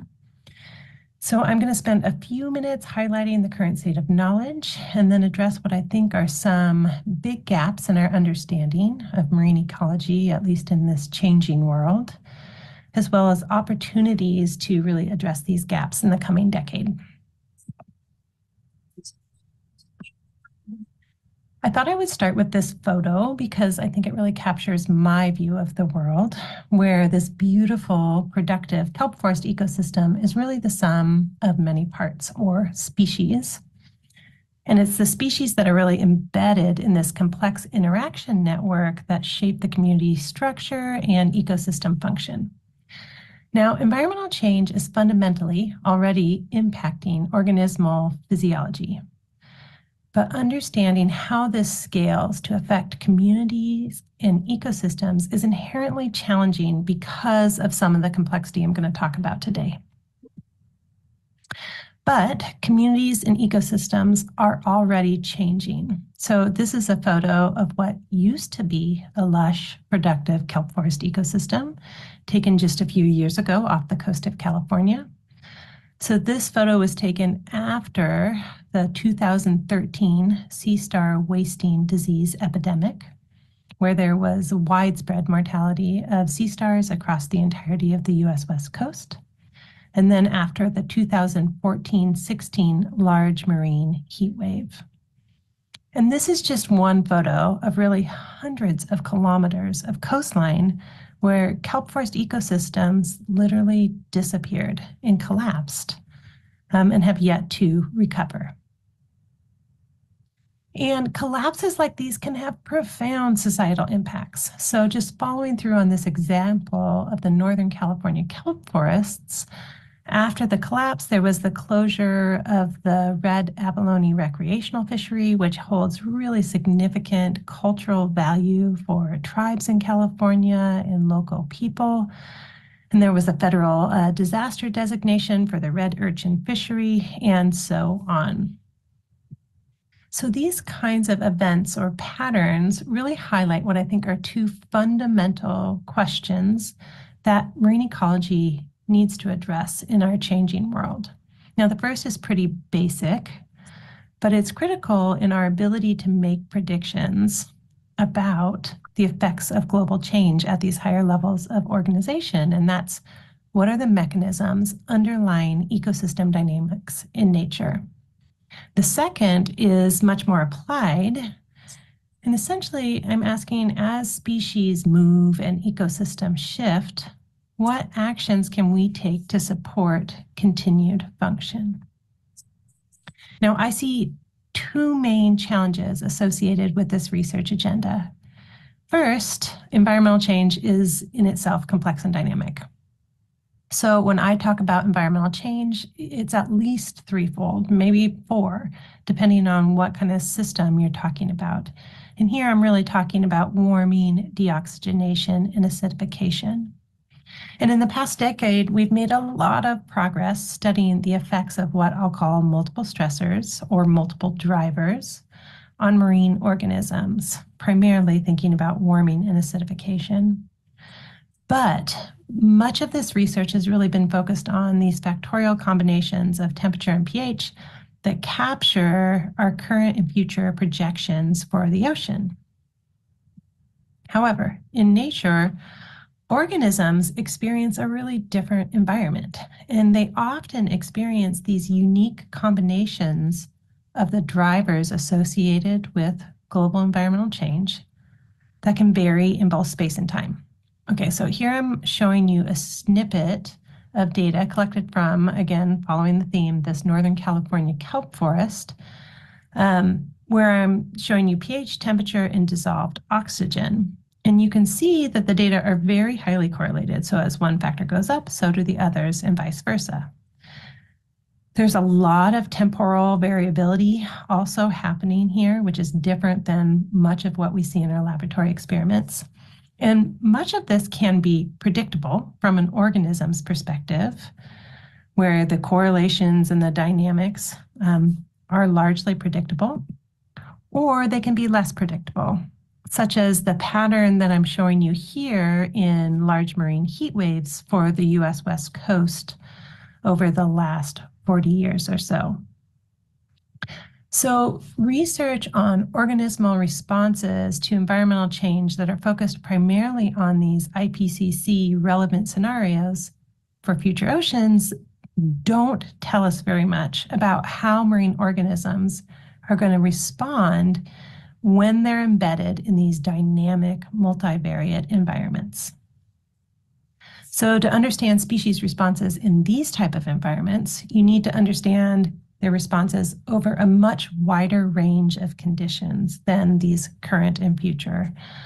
So we have a pretty good understanding of the shape of organismal responses to temperature. Here I'm showing you a really typical thermal performance curve. We know that generally performance is going to decline in response to uh, decreasing dissolved oxygen saturation. Um, with some variability depending on kind of how the organism copes with that. And generally, we expect that performance will decline with acidification at some unknown threshold, but we have very little understanding of what the shape of that actual uh, response surface is. And then finally, we have an even more limited understanding of how these environmental conditions affect performance together in really environmentally relevant ways for organisms. And I think this provides a really uh, exciting opportunity to support interdisciplinary programs that pair oceanographic observations, especially in the coastal ocean where we have far fewer, with organismal and population level studies that are really relevant to these dynamic multivariate environments. Coming back to this kelp forest, the second challenge I really see is moving from those organismal and population level responses to better predict emergent effects at the community or ecosystem scales. So several studies have highlighted the importance of species interactions in particular in driving these emergent responses to environmental change. Here I'm showing you a couple of photos from some of my early work where we studied the effects of acidification using these natural carbon dioxide vents. So similar studies have been undertaken on coral reef and other rocky reef ecosystems. And there are lots of approaches that might move this research agenda forward, including these types of studies in natural analog systems, whether we're talking about carbon dioxide events or natural gradients, or larger mesocosm style studies that really incorporate multiple species interactions. It can be challenging to capture all of the interactions uh, in an experimental setting. So another approach is to really focus on what I'm calling an ecological leverage point here, or the key species interactions that have a disproportionate effect on the community or ecosystem. In addition, I think we could shift our thinking from species to traits, which can then provide insight into functions, rates, energy flows, how those might shift with environmental change, which again provides really exciting opportunities for generalizing across ecosystems. So together, I think that there are important opportunities to support programs that really address the mechanisms the functional consequences and the cross ecosystem comparisons of community and ecosystem change. Now, we were all taught in our ecology classes about the feedbacks between observations and experiments, where observations guide our experiments and experiments can guide our observations. And additionally, I think modeling and synthesis have a really important play to role here or role to play here. So it's clear that our observations and experiments feed into our synthesis and modeling. And again, I think that those models and synthesis should then be guiding also some of our observations and experiments. And it's through these feedbacks, you know, really, really across all of these that we're going to gain the most insight into predicting and responding to the emergent effects of global change. In terms of infrastructure and workforce development, there's been far less investment in the long-term monitoring of the biology than the oceanography because it requires people and it's time intensive. However, having long-term records and flexible opportunities like the RAPID program to make observations is going to be really critical for progress um, as we move forward and uh, change continues to occur. Similarly, investments in infrastructure to do larger scale multi-stressor experiments is needed. Here I'm showing a small photo of SeaSim, which is housed at the Australian Institute of Marine Science. And to the best of my knowledge, the US does not have something comparable. Beyond laboratory infrastructure, continued investment in field studies that compare across scales, I'm thinking kind of genes to ecosystems here are needed. And then finally, continued investment in synthesis centers is really important for moving the field forward, generalizing findings, and workforce development that centers diversity, equity, inclusion is going to foster new ideas and forward progress. With that, I'll say thank you, and I hope to hear from some of you soon. Thank you to Kristy, who's recorded. Um, quick questions before we move to the next speaker. Um, that's true. Sorry. Thank you. Wait, AI. um, sorry. Um, next speaker is Sonya. Who will be able to answer the question. Thanks, Sonya. Please take it away.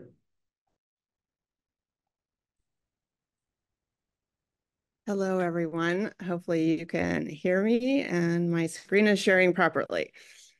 It's really a pleasure to be able to participate today. And I um, am a professor of Earth and Environmental Sciences at Columbia University, but I've also included here my affiliation with the NSF Science and Technology Center for my chemical currencies of a microbial planet to acknowledge the discussions I've had with my center collaborators on the content of this presentation and related discussion.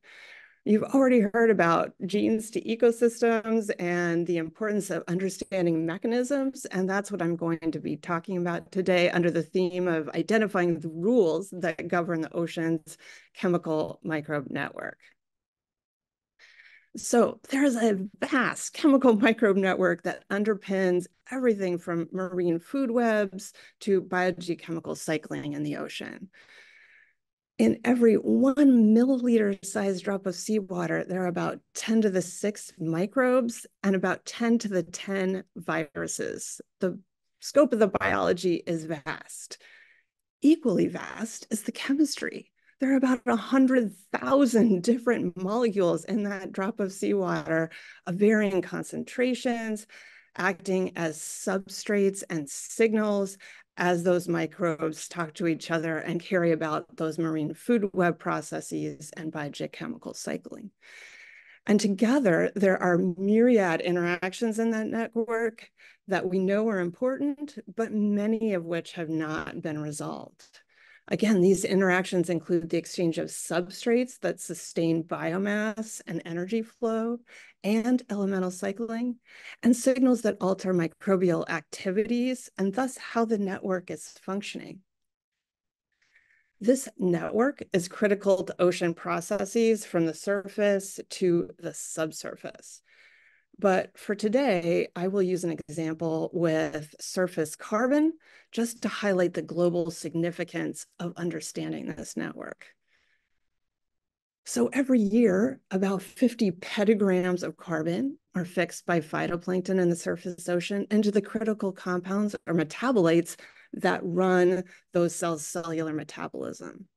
Then we're not sure, but upwards of 50% of this metabolite carbon is released to the dissolve phase, where these are metabolites are rapidly cycled, potentially back to CO2. But while we have numbers on the fluxes of some of these patterns here in this graphic, they are very poorly constrained. And in fact, we do not understand the rules or mechanisms well enough with which these systems operate to go out and predict the fate of this carbon in any given environment well enough. And it is already a changing environment, as you've heard. These uncertainties are ever more critical to resolve. For example, the research strategies identified in this 2021 consensus study for ocean-based carbon dioxide removal, which include artificial upwelling, alkalinity enhancement, nutrient fertilization, among others. All of these intersect with the chemical microbe network and how it functions. We need to know how this network is working. So when I look to the next 10 years, I think it's critical to identify rules or mechanisms that govern this the ocean's chemical microbe network to build in the predictive power that we need. And to understand this globally important network, we must move beyond inventories of looking at what biology is there, what chemistry is there, to process level knowledge. This requires integrating observational and chemical and experimental studies across chemistry, biology, and modeling to build predictive power. I apologize that I've lost the lights in the room. I am remote and I'm not quite sure why that happened. All right, so there is a confluence of both need and opportunity here for looking out over the next decade where evolving methods the so-called omic methods will allow new progress in terms of being able to visualize this network. Now, we can't go out with microbes and molecules and look and see visually what is happening. I wish we could, but our way of visualizing this network includes molecular methods. So what I've done here, and this, as you can see in this graphic, is pull out a cell and show on a molecular level how that cell is interacting with its chemical environment. And I want to take a couple minutes to go through this. So as that cell interacts with its environment over very long-term time scales, we have chemical pools and the chemical environment that could influence the content of the genome. So what genes are there? This is the DNA. We can measure both the organisms that are present and the functions or genes that they carry using a method called genomics, or we put a meta in front of it if we're talking about doing that at the whole community level at once. Now, on shorter time scales, that cell is interacting with its chemical environment, receiving signals and substrates and altering its metabolism accordingly. And what is happening there is different genes or units in the genome are being turned on into the RNA or the transcriptome. And we can use metatranscriptomic approaches to look at the abundance of functions that are expressed or turned on by different organisms in a bulk sample. Now, that transcriptome pool is pretty amazing because it's like an activity readout for the cell. But we can go even further down this biological cascade and look at which of those transcripts are translated into proteins. Proteins are the enzymes and transporters that are doing the work of the cell, including synthesizing key chemical metabolites. And we can look at the protein level with proteomic assays. This measures the abundance of proteins, but it is dependent on databases derived from the measurements above, either the transcriptome or the genome. Last in this cascade, we have the biosynthesis of the metabolites. Here, this is the abundance of metabolites in cells, endo, or seawater, exo. And those metabolites are produced to do the work of the cell, as well as being released in the cycling of carbon in the surface ocean. Now, I have an asterisk on some of these, and that is to highlight that I we find that these functions are determined based on database comparisons with distantly related microbes, often the model microbe E. coli. So you look at a sequence and you compare it to another and another and another, and you say, aha, I know what this is because this sequence is related to a sequence in E. coli. Obviously, marine microbes are not E. coli, and this presents a challenge. Another important point I want to make here is that these methods, when applied together in what I call a multi-omic approach, are really critical for moving from the inventories where we just look at different steps in this pathway to looking at processes. So the challenge is that the chemical microbe network underpins ocean ecosystem functions and the Earth's biogeochemical cycles, but we lack predictive power on a changing planet. The opportunity here is that we have the mechanisms and set of methods to look at identifying the rules that govern this network's function and its sensitivities. I see three major facets to this moving forward on a decadal scale. This would be investment in methods and model systems for resolving the network, expanding capacity to observe the network across timescales for linking with predictive models, and capacity building in data infrastructure and integration. So that first idea, I just want to flush out with three facets. The first is focused on funding the development of genetic systems to develop a marine E. coli we can look at plant the plant uh, community and they have invested in key model systems that have genetic resources to understand those in concrete ways. We know about the E. coli model. Let's build out models more concretely for this marine microbial network. If we can resolve functions better, this increases our view of this biological cascade. The next facet is to support continued chemical method development and link metabolites to their production and uptake processes. So this is, again, that multi-omic observation integrated with the chemistry that really gets at processes. Last, we want to look at sensitivities. So test network sensitivities with model communities in the lab for feeding into models across scales. So cellular models can be developed with all of the resources I've shown here, and those can then be integrated into larger ecosystem models. The second facet I want to talk about is expanding the capacity to observe, and this also has three components if you remember nothing else, I think this next one is most important, and that is to support coincident multi-omic observations at the as a core component of the time series, for example, at BATS and HOT. This would provide a critical process level view about what is going on with the network.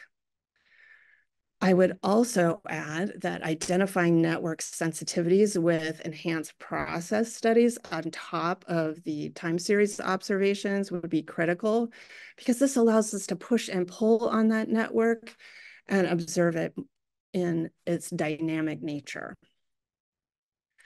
Last, we need to work to integrate models across scales to better predictive capacity. So that is taking those cellular models and scaling them out in a systems context. The third facet I wanted to mention, again, was capacity building. And this is supporting method intercalibration and data integration tools. So how do we link all of those different measurements together and how do we calibrate them so that we know the measurements I made are comparable to the measurements made by somebody else? We need to expand frameworks for discoverable derived data products. Right now, the discoverable data is largely unprocessed. You have to go all the way back to raw data in order to confirm or use that data in a different analysis.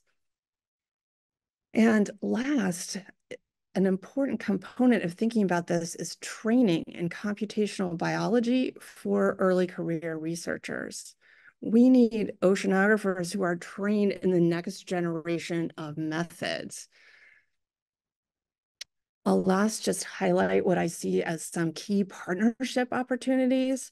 This includes cross-directorate opportunities with bio, particularly around model systems.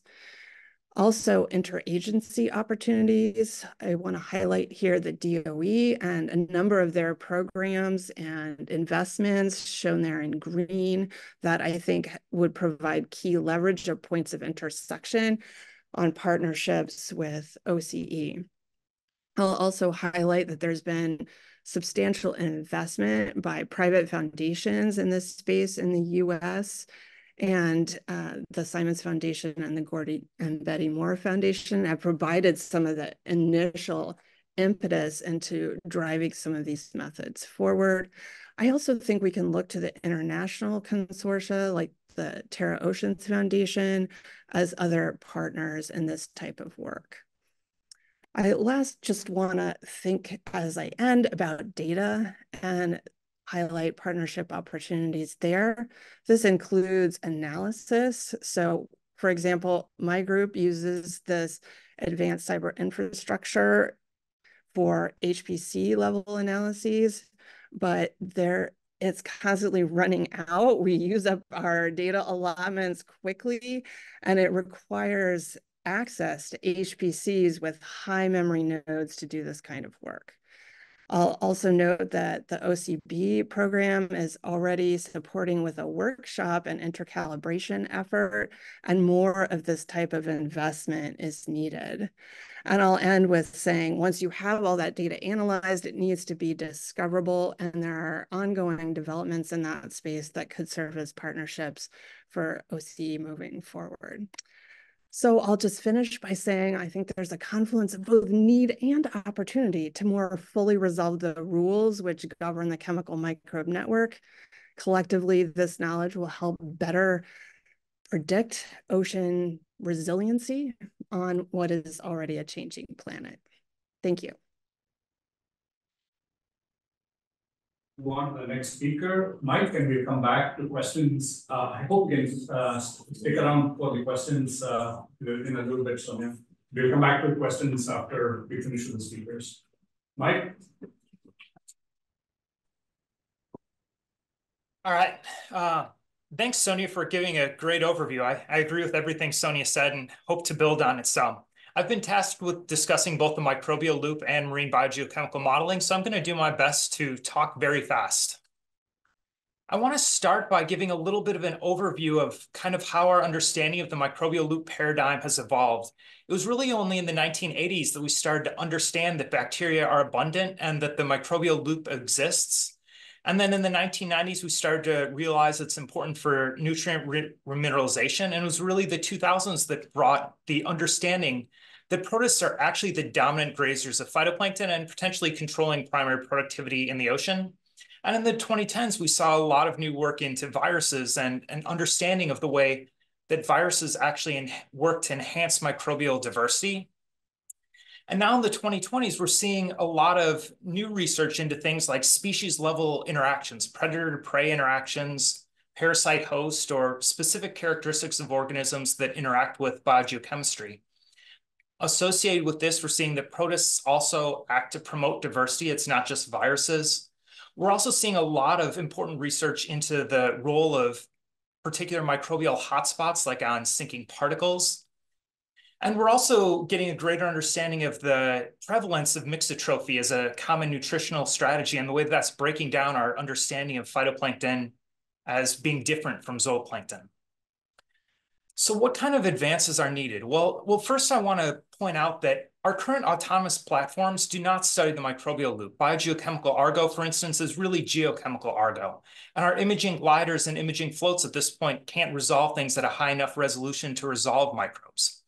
So we need investment into next generation autonomous platforms, and that can include things like low powered versions of the imaging flow cytobot that can be coupled with onboard machine learning and hence send us back estimates of abundances of microbes in real time, as well as potentially autonomous collection and perhaps even in the future at some point, onboard sequencing of DNA and RNA. But in the meantime, it's important to keep in mind that ship-based process studies and time series observations remain crucial, particularly those that link omics and imaging uh, paired with rate measurements. And I want to highlight some of the recent things that we can really only do with shipboard measurements. This, these figures here show results um, showing taxon-specific variability in protistan grazing across a productivity gradient. So we see that bacteria, Prochlorococcus, Synechococcus, and picoeukaryotes all respond differently in terms of grazing mortality to a change in productivity gradient. This graph here is um, from a study that's showing taxon-specific bacterial chemotaxis towards complex polysaccharides. So this is getting at that idea of linking microbes and, chemi uh, and chemicals that Sonya was discussing. Finally, this study shows cellular level responses of diatom taxa to ocean acidification, showing that ocean acidification may affect how well diatoms can uh, take up iron and how they respond to this micronutrient. And these are all the sorts of things that we can only uncover with ship-based measurements. And really, one of the key things that we need to do in the future is figure out how to synthesize these microscale results into process level understanding of how biogeochemical function varies in space and time. Or as Sonya would have said, what is the process level understanding of the rules governing these microchemical interactions? Next, I want to talk about why it is that we should care about any of this. And the first reason that you should care is that obviously the oceans take up a lot of carbon. If we look at our ocean models and how they predict um, the biological carbon pump, they tend to almost all predict a weakening of the biological carbon in the future, but they differ drastically in their current estimates of, a, of the magnitude of the biological carbon pump, which suggests that there may be things that are missing. And I think it's important to keep in mind that they may be missing some mechanisms that we see in time series studies. For instance, the graph at the top here shows export flux measured in a time series off the California current. And what we see in that time series is that episodic pulses of export are becoming more common. And sequencing results actually showed that when there was a high pulse of export, it was dominated by one genus of diatom, by Thalassiosira. And in fact, that study was confirmed by an in complete independent study that showed that the Thalassiosira was the only common euphotic zone microbe that was consistently enhanced in sinking particles. So maybe this one genus of diatoms has characteristics that make it crucial to sinking export flux, possibly the fact that it's digestion resistant. Results from um, the, the BATS time series in the Sargasso Sea show that even though net primary production is decreasing, a shift to cyanobacteria over eukaryotes as the dominant phytoplankton is driving an increase in the carbon to phosphorus ratio, which means that export flux of carbon is remaining relatively constant despite the fact that phosphorus supply is decreasing. This is something that we can't see in any of our autonomous platforms. We need shipboard measurements uh, to measure this. At the uh, Hawaii Ocean Time Series site in the North Pacific Subtropical Gyre, where we'd expect net primary productivity to be decreasing, we actually see a long-term increase in net primary productivity, particularly in the deep euphotic zone, and that's leading to relatively constant export ratios over time. So we're not necessarily seeing the predicted decrease in export because of mechanisms uh, that often may be missing in these models. It may be that the models will, that the ecosystem will eventually adjust the way the models predict, but we could be missing some of these key mechanisms that we're understanding now from the microbial loop. Another reason that you should care about this is that ocean models are predicting future declines in phytoplankton biomass and that these future declines will actually be amplified at higher trophic levels. And this is important when we think about feeding humanity. The ocean models are suggesting substantial declines in fisheries production. And this is caused in part by food chain elongation that's driven by a strengthened microbial loop. At the same time that we're leading to less overall photosynthesis in the ocean, these models are predicting that we'll see a shift towards smaller phytoplankton. And as we shift towards smaller phytoplankton, we insert more protist and trophic steps, and we dissipate more energy through the microbial loop. But it's important to keep in mind that these predictions are all based on CMIP class ocean models that do not explicitly simulate the microbial loop or food web reorganization due to climate change. There could be shifts in interactions and predator to prey size ratios that actually ameliorate some of these changes. And these are things that we cannot see in our current models and that we need to get from process level understanding of the rules of reorganization of microbial communities. So what are some future modeling advances? How can we start working uh, towards closing some of these knowledge gaps? Well, I think one of the key things that we need to think about is adaptive parameterization. When I talk about adaptive parameterization, what I mean is thinking about how key parameters in the model, such as phytoplankton half saturation constant, vary in time and space. And there are multiple ways that we can approach this idea of adaptive parameterization. One potentially fruitful approach is to use machine learning and artificial intelligence um, approaches to variable parameterization. So the idea here is to have to allow the uh, these advanced artificial intelligence approaches to figure out how something like half saturation constants may vary in time and space. Another approach is to use massively multi-parameter ensemble modeling. So instead of saying we know the half saturation constant, we say, well, there's this envelope of potential half saturation constants that might be possible out there and run a whole series of different models. Another possibility is to use emergent properties type models. And what these models do is they allow community evolution through the simulation of thousands of stochastically parameterized microbes so that as the environment evolves, the microbial community itself can evolve. And the overall half saturation constant of that community can evolve mechanistically in space and time. But ultimately, the goal of this is a mechanistic understanding of how integrated properties of the microbial loop dynamics underlie regional and temporal biogeochemical variability. And this can come from these modeling approaches, or they can come from more targeted experimental work at sea and time series approaches, some of which Sonya already talked about. I think another real key to moving forward is very close integration with observations. We need to integrate our models with our observations. And the question becomes, how do we map high resolution imaging data and gene sequencing observations to our model structures. It's important to keep in mind that our models are not simulating genes. They're not simulating transcripts. They're not simulating proteins or metabolites. How do we link those two? This, may this is almost certainly going to require standardization of our observational methodology so that we can compare across studies and use those as validations in global models. But it also will absolutely crucially require that we train a generation of oceanographers that have co-fluency in machine learning image recognition, in interpretation of omics data, and in advanced modeling approaches.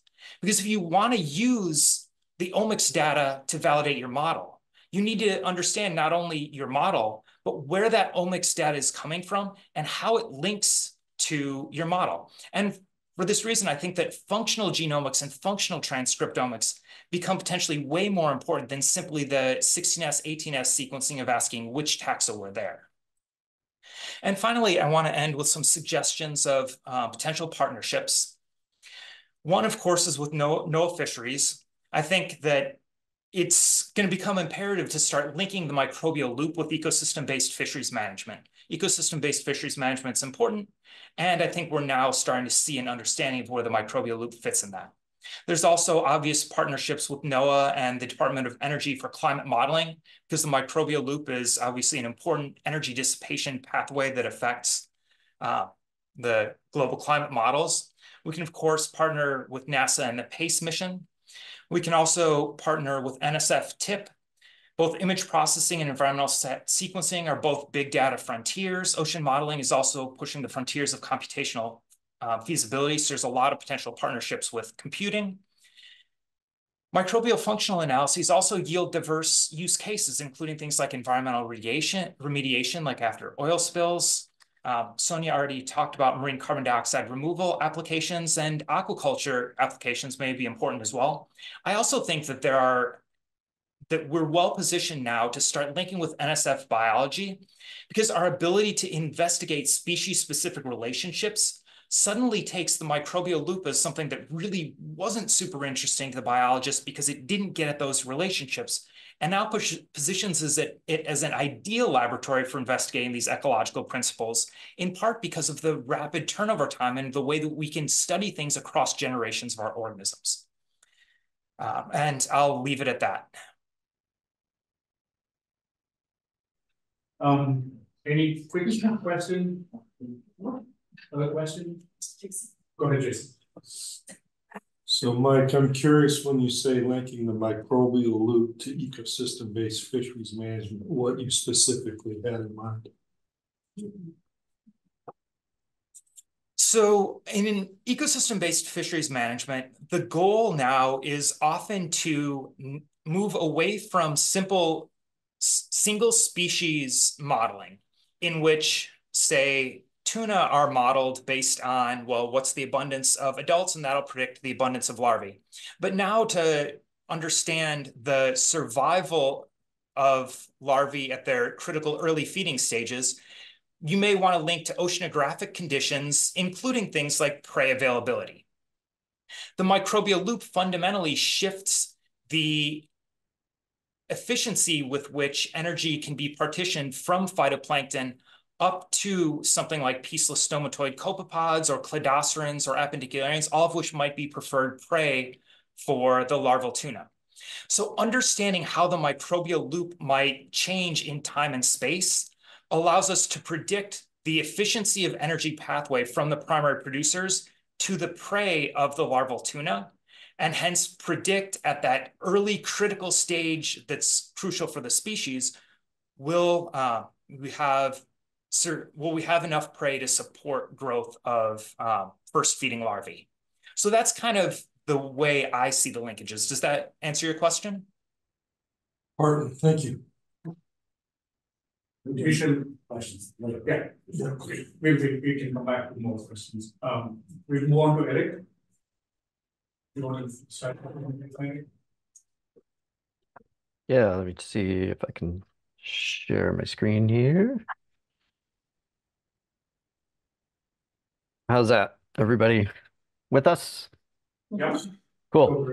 Um, all right. So again, first of all, uh, a second to everything that has already been said. Um, but I would like to bring all of that into the largest habitat on Earth, which is the deep ocean.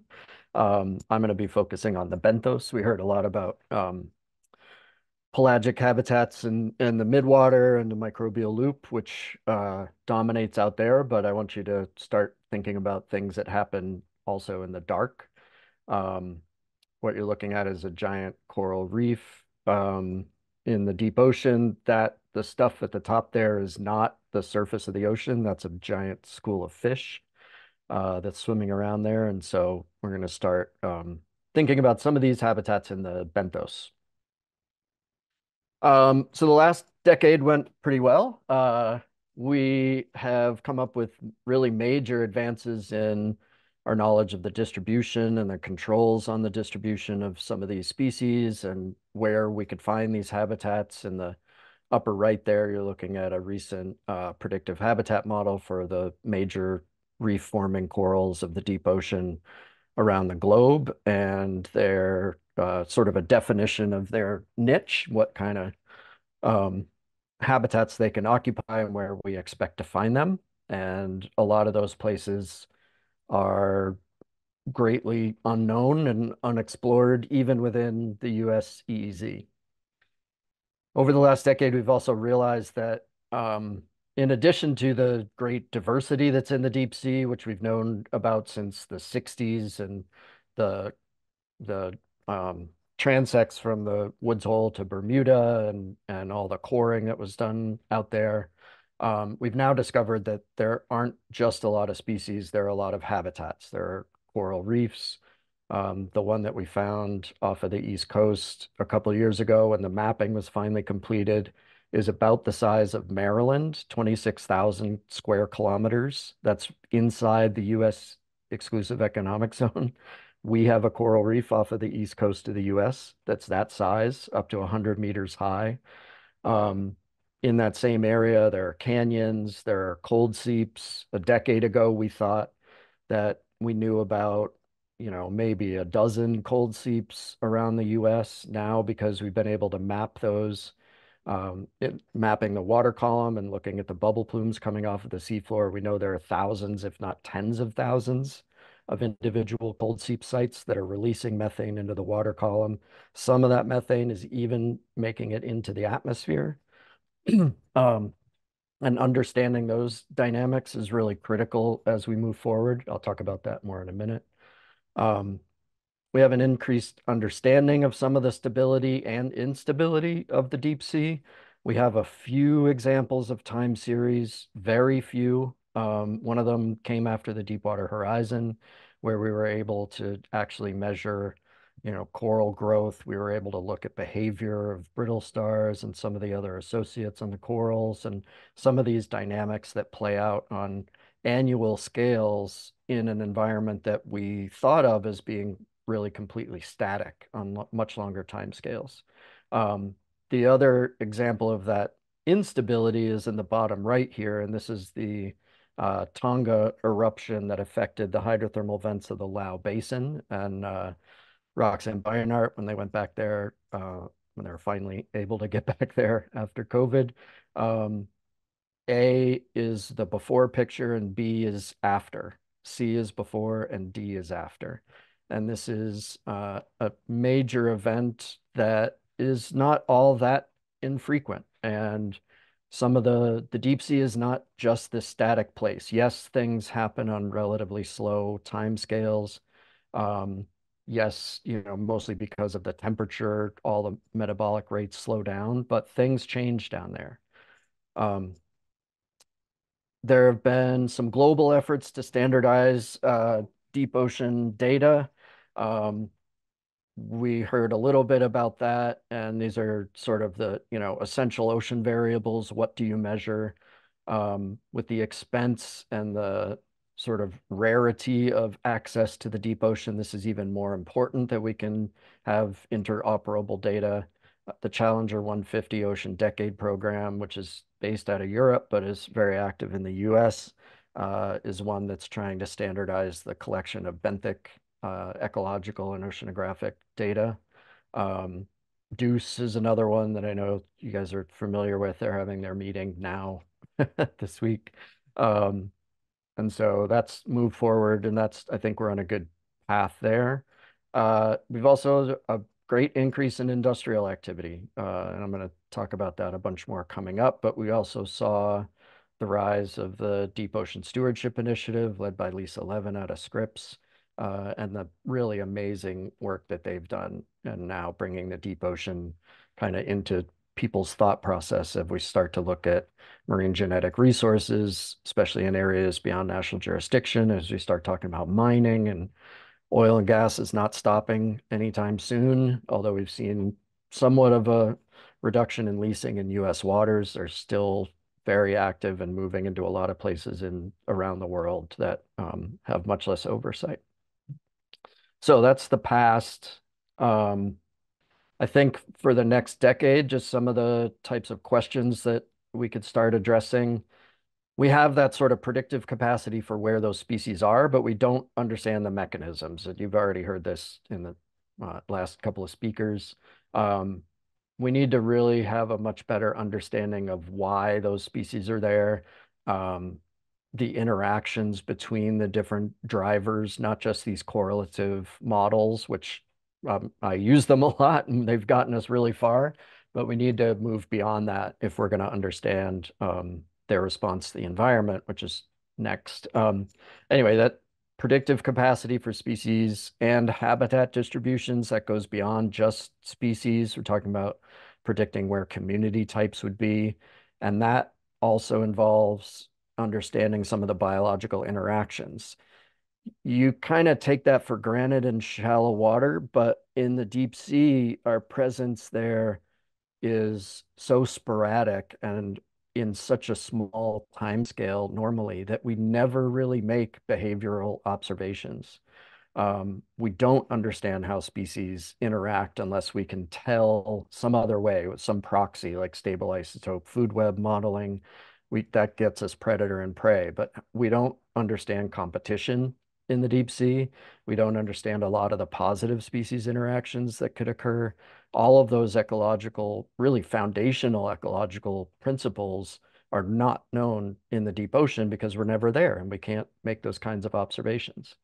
Um, we have to understand that to understand how it's going to be affected by ocean change, the marine heat waves that are extending into the deep ocean just at even 700, 800 meters. Uh, on that giant coral reef I was talking about, we measured 10 degrees Celsius temperature fluctuations over the course of hours.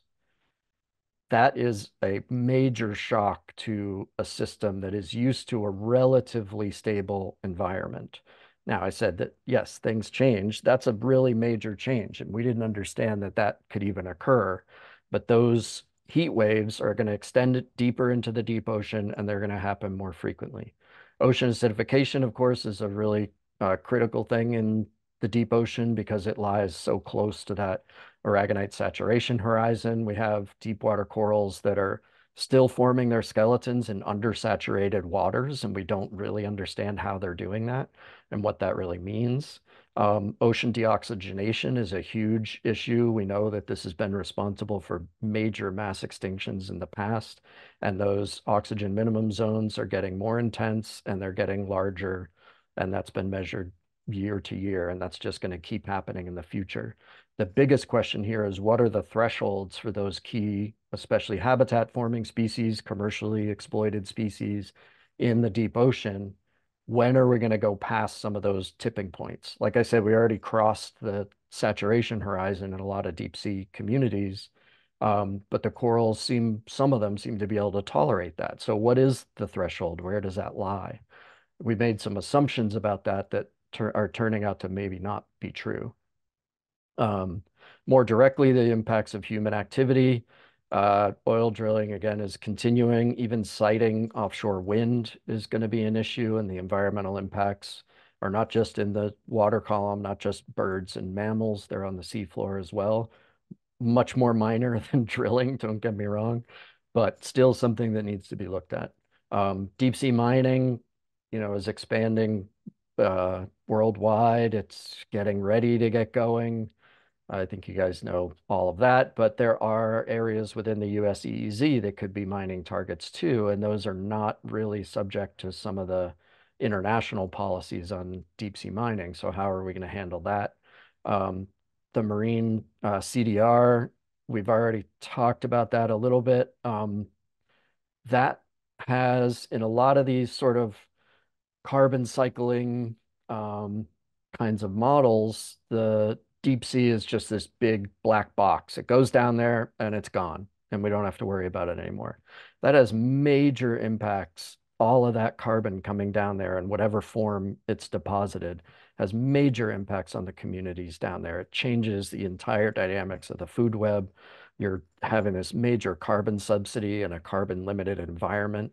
There are really significant implications for that that we don't understand, and a lot of these experiments are moving forward without any monitoring on the seafloor to see what their effects are. Um, and the major priority that answers a lot of these questions is interdisciplinary quantification of ecosystem services in the deep ocean. Um, again, you're looking at, this is a summary from Andrew Thurber um, that's about 10 years old now, that's looking at just a couple of the types of ecosystem services in the deep ocean. But then these are extractive resources primarily. Um, but we don't understand, we haven't quantified them really anywhere in the deep ocean. And again, the largest habitat on Earth obviously plays a major role in global nutrient cycling. Um, oh yeah, here's our black box sorry, this is our normal carbon cycle, all of the familiar components, and then here's sinking and decay and this big deep ocean and sediments on the seafloor. Well, they're not just sediments, they're canyons, they're massive coral reefs, they're cold seep habitats, they're landing on hydrothermal vents, they're landing on all of these different types of hard substrata, not just getting buried, they're getting metabolized. In some cases, that carbon's coming back up to the surface. This is a very much incomplete picture of our carbon cycle. Um, so how do we do that? I think more integrated interdisciplinary initiatives, um, something that we saw in the hydrothermal vent community were these integrated study sites where basically everybody worked together in one area to fully quantify all the processes in the East Pacific Rise, in the Juan de Fuca Ridge, in the Lau Basin. Um, I think we could take that approach with other types of ecosystems in the deep ocean The resources are limited. That area is vast. Let's pick a couple places where we can really nail down what's happening at a methane seep or at a deep sea coral reef or within a canyon. Where are those places that we can concentrate? So we aren't learning about different habitats that may or may not be comparable. Um, yes, and then once we have really that basic understanding, of the mechanisms that are underlying this, we can test them in other systems and see how broadly applicable they are. But right now we're collecting data in lots of different places that we cannot synthesize. Um, improved measurements of biogeochemistry, physiology on the seafloor. This is getting at that mechanistic question. This is really looking at carbon cycling, nitrogen cycling, phosphorus cycling, all those things in a mechanistic, quantitative way on the seafloor. What you're looking at on the right here is a benthic lander.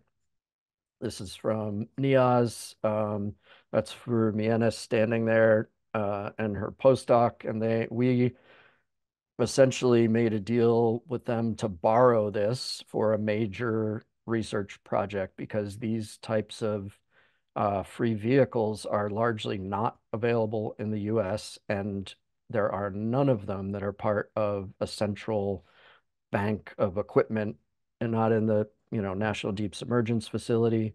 Woods Hole has some of these, but they're not. You basically they're not freely available and they're not publicized as hey anybody can come use this. Check this off and you know we will pay for this to go out on your cruise.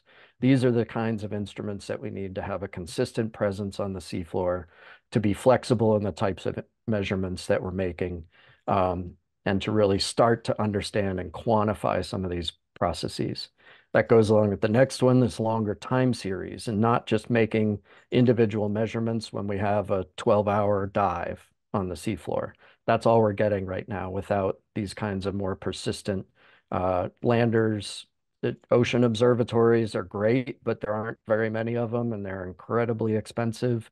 And um, I know uh, people have varying opinions of them. I haven't seen a ton of bang for the buck, honestly, in the last decade plus that a lot of those have been in action.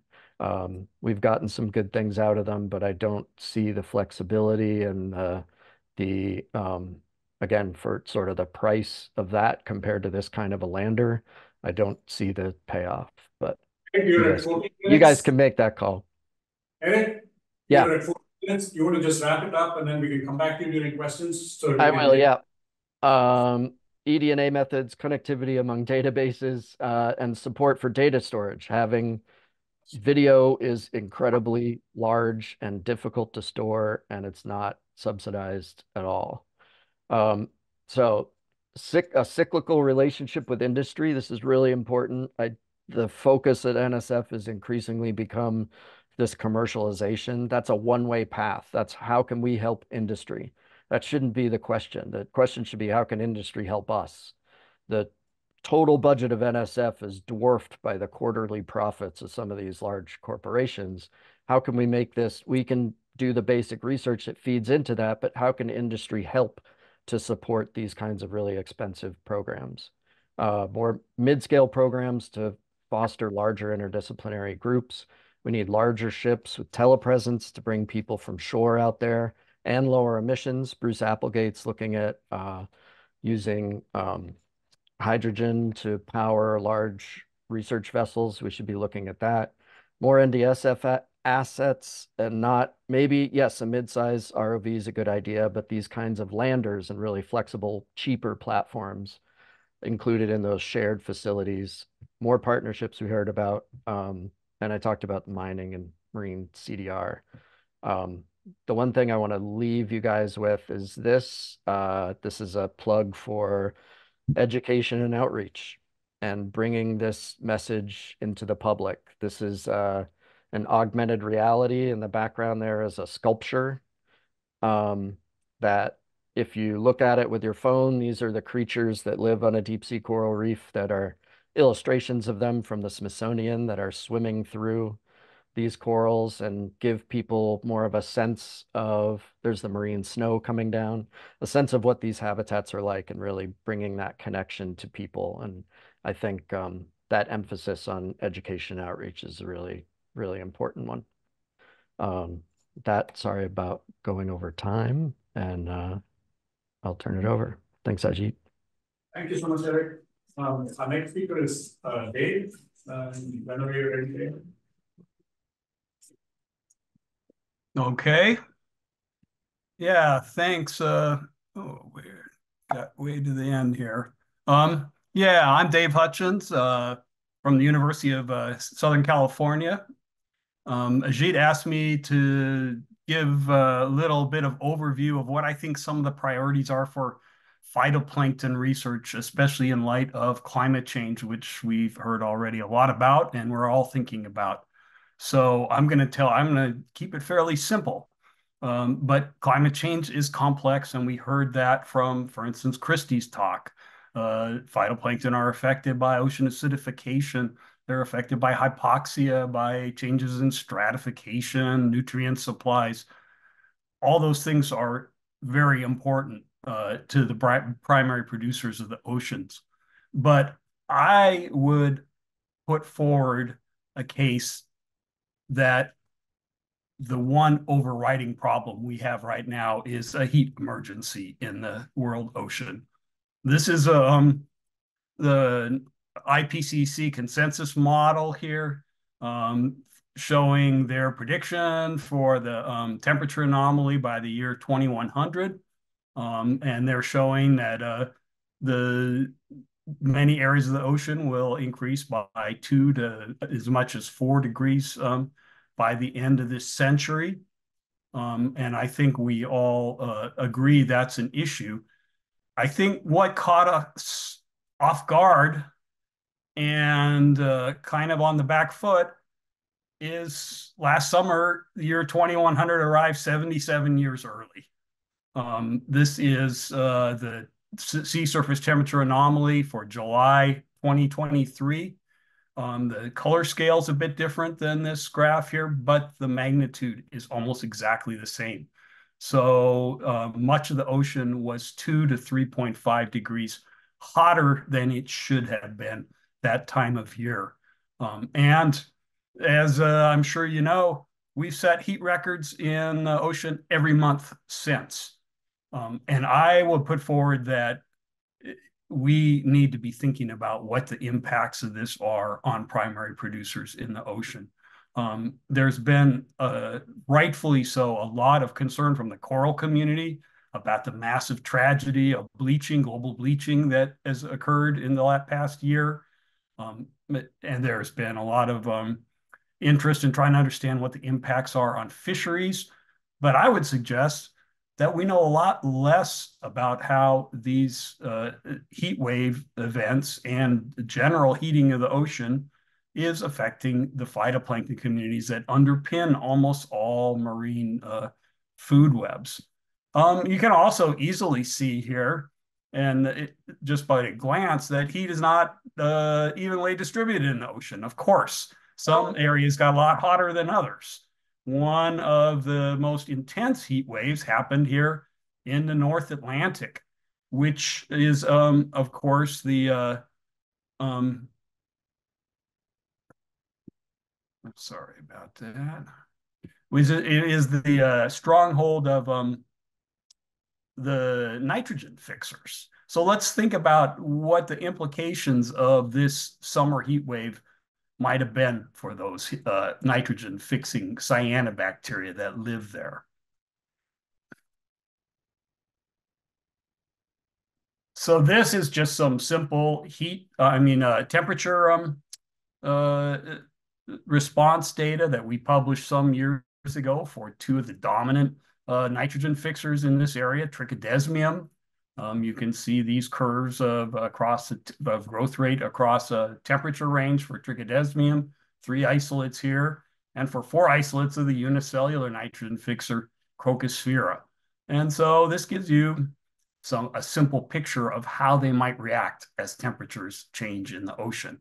So let's try to put those in the context of the um, of the event that happened in the North Atlantic last summer. So if you look at the average temperature of the North Atlantic last summer, it was a couple degrees higher than it should have been. Uh, it's about a little over 25 degrees. Um, and let's see what that means on these these temperature curves of these two uh, nitrogen fixers. For, for trichodesmium, that falls right in the middle of their optimum temperature. They were going very well through that. And for Crocosphaera, they haven't even reached their optimum temperature yet at 25. So they're still on the upward curve. So you might think, hey, there's no problem. Uh, nitrogen fixation should be thriving in the North Atlantic. And that's undoubtedly true in a lot of these warming areas. These two groups are predicted to be favored by some warming. But what that leaves out is that the heat is not evenly distributed. In fact, in some areas of the North Atlantic, it was much hotter than this. This is the temperature that was recorded from that extreme heat wave that occurred on the southeast uh, US shelf last summer, where temperatures went up to 36 or even 38 degrees. And you can see that none of our cultures of, uh, of nitrogen fixers can tolerate that temperature. As a matter of fact, I don't think there's any measurements of it, but I would predict that there was a local extinction event in this region last summer at, at, when this heat wave occurred. Let's go to a different system that uh, is closer to home for me. Here's the California upwelling system. So here's all these upwelling plumes that we get on the um, west coast here. And of course, they support these very productive communities of large chain forming diatoms that uh, supercharge our food webs out here.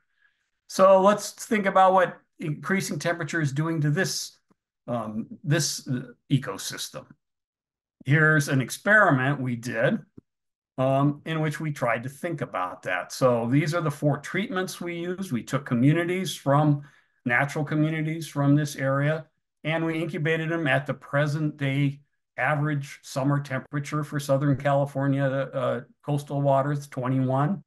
And then we did a heat wave treatment where we bumped that up to 25 degrees for a couple days and cycled it back down. So a temporary heat wave. We also did a future hotter ocean, 26 degree average constant treatment, and then a future heat wave treatment where we cycled it up to 30 degrees for 48 hours and then back down repeatedly. And then we looked at the structure of this uh, phytoplankton community. So let's look at that real quickly here.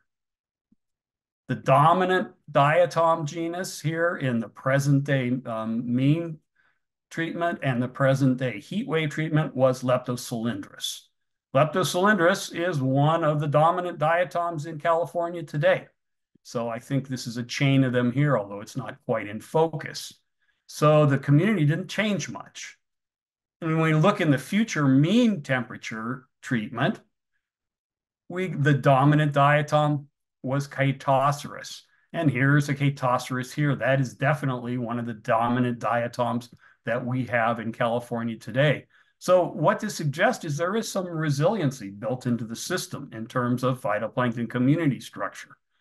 Where things got really strange is where we went up to the future heat wave and we increased the temperature only briefly to levels that this ecosystem has never seen before several degrees higher than the highest record temperatures.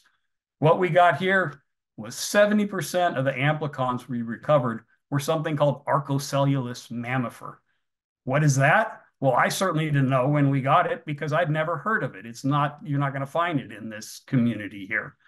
It has never been reported from California waters before. It's a tropical diatom that grows in places like aquaculture ponds in the South Pacific. And yet it was 70% of the ASVs that we recovered from uh, this future heat wave.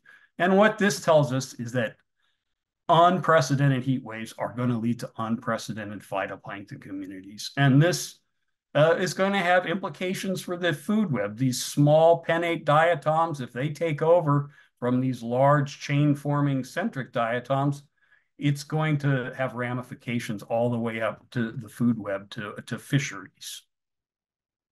We also need to think about mechanisms of responses. So this is an experiment uh, we did in Narragansett Bay with the Picocyanobacteria synechococcus. What we did was we took the Narragansett Bay community and we incubated it for two weeks at 18 degrees here and at 30 degrees here. And then we isolated Synechococcus cultures using flow cytometry and ran thermal response curves, which you can see here. Interestingly enough, the incubations at these two temperatures sorted the population into two thermotypes. There's cool thermotypes shown here in uh, the dashed blue lines, and there was a warm thermotype that came out in the high temperature. And these have significantly different thermal maximum values you can see over here, and also thermal optimum values were different. So we actually pulled two different heat tolerant populations out of the same population. When we went and sequenced these, we found something we didn't expect. These two thermotypes were 99.9% identical across 99% of the genome. We could hardly find any differences between them um, genetically. The only difference we could find after a lot of sleuthing was some epigenetic changes in the uh, um, the photosynthetic pigments. That's the only difference we could find. And yet this really minor difference could have big implications for their ecology. So this curve here shows the, um, the present day distribution of summertime temperatures in Narragansett Bay. And here is the optimum of that cool thermotype. And so this suggests that the uh, the cool thermotype is going to have all the advantage, uh, at least in terms of temperature tolerance today. Here is the optimum of that high temperature thermotype. And in the dotted line is the projected uh, distribution of summertime temperatures in the year 2100. And you can see as that, that uh, ecosystem warms up, there's going to be an increasing niche for this warm thermotype where it's going to have the advantage over the cool one. And so this very small microdiversity change in this population where individuals have different epigenetic patterns could translate into uh, the ability of this uh, community to be resilient to the future changes um, in this ecosystem. So I'll, I'll wrap up with some unresolved, what I think are some unresolved questions about uh, phytoplankton in this uh, global ocean heat emergency that we're uh, um, in the middle of. We don't know much about how phytoplanktons recover from things like local extinctions following these extreme heating events. Um, I would say we know almost nothing about that.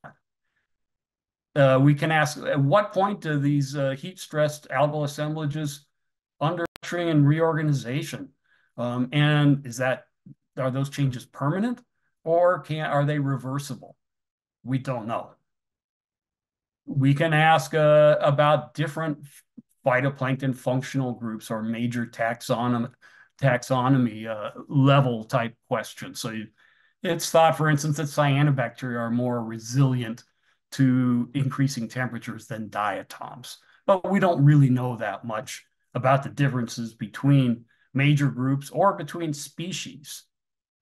And then, as I just showed you, I think we need to look a lot farther down in terms of microbe diversity. We need to look inside populations at the diversity that exists at the individual level. Because it appears from our Synechococcus work that this kind of hidden thermal microdiversity could actually provide resiliency uh, for, that it might allow them to persist in a warmer ocean. So my, my recommendation for what I think we should do to deal with these questions is fairly simple. I think we need to get out there and look at what's happening in these major uh, heat wave events. I think we need rapid response studies uh, using our um, infrastructure like uh, research vessels and the time series sites. I think we need to evaluate what these shifts are and what implications they have for the ocean food web. The best way to do this would be to follow the phytoplankton images all the way across the processes before to get a baseline before, to look at responses during the heat waves. And what I think is most important, you need to stay there and after the heat wave dissipates and follow how these uh, communities are going to recover afterwards, or if they're going to. As we heard from Kristy's talk, and I didn't talk about this, but Clearly, co-stressors are important. We need to think of nutrient limitation, acidification, hypoxia, and so forth, because all those can interact with heat stress. We know that. There's a lot of literature on it.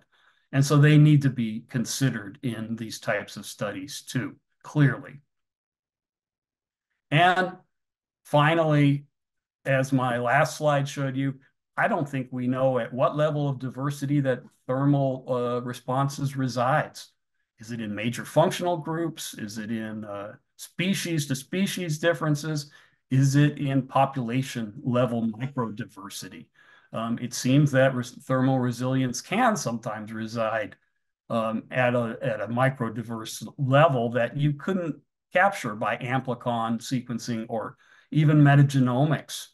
And so I think we need to look a lot more deeply into the regulatory strategies of phytoplankton at transcriptional and translational levels.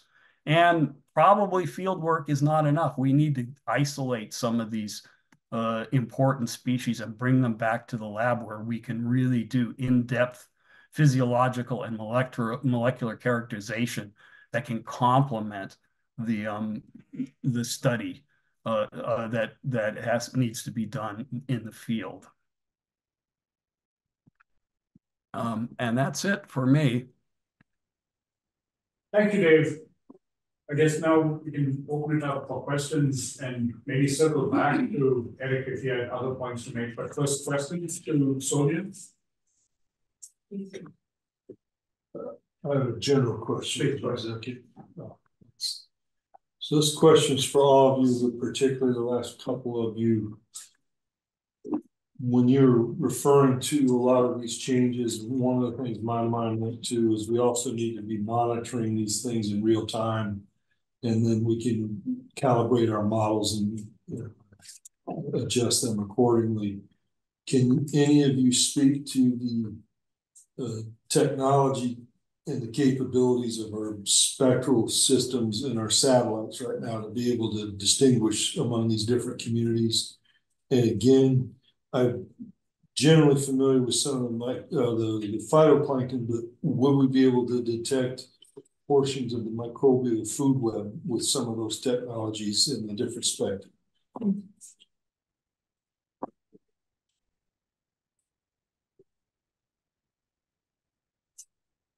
I mean, I would generally say no. I mean, we we can do some phytoplankton, and I I guess in terms of when you're thinking about mixotrophs, you can get a little bit of that from the satellites, but for the heterotrophic capacities for the um, bacterial microbial communities, no, you just really can't do that by satellite. Satellites can give you a little bit of size spectra, which you can in, infer some function for in terms of energy transfer, but yeah, satellites don't do a lot for us at the moment.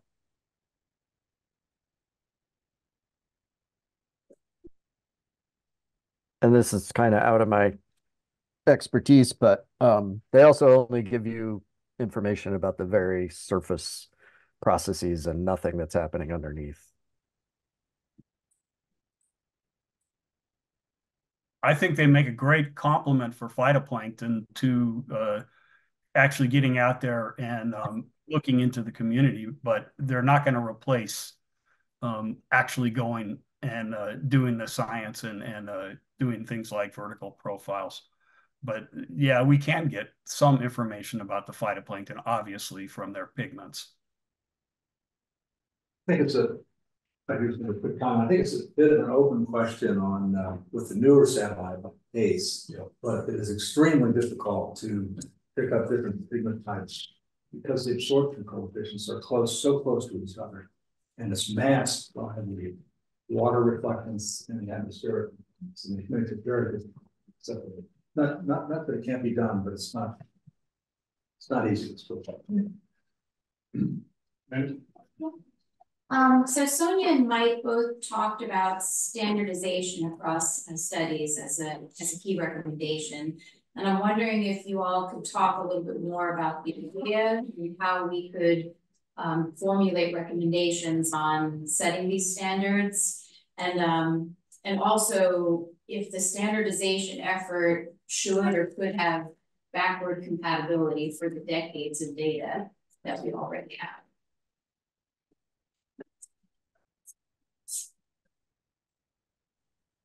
Well, um, I can just start and uh, then tag team on this one. The when I think about the kinds of omic data that I was talking about, I think there are two real facets to consider. One is intercalibration. We simply don't know how intercomparable or backwards or forwards looking these data types would be. Right now, we're not sure where the largest uncertainty is. Is it happen at sample collection, sample preparation? Does it happen happen at the sequencing facilities and how which instrument you choose and how it's run? Or does it happen, is it larger sensitivity on the back end with the high degree of variability in how everyone chooses to process their data? And uh, really to, to look at those sensitivities across that pathway, we need a concerted effort that's supported to go in and try to look at that intercompatibility and understand where the biggest sensitivity is so that we can address that in terms of thinking about how to link those moving forward. Mike, do you want to take a shot at There, there's not a lot that I can add. I come at it from the perspective of someone who wants to use this data. And so partners with people like Sonya or Dave who generate this kind of data. And I always ask them, hey, can I compare your results to this, the results from this other interesting paper that I saw? And they tell me, no, so I can't give advice. Maybe Dave can add something. Yeah, I think Sonya uh, put it very well. Um, probably the problems arise at all the steps she outlined, right? And so uh, understanding which one is the most problematic or which ones are is important. And it's something that we really haven't addressed. So she put it very well.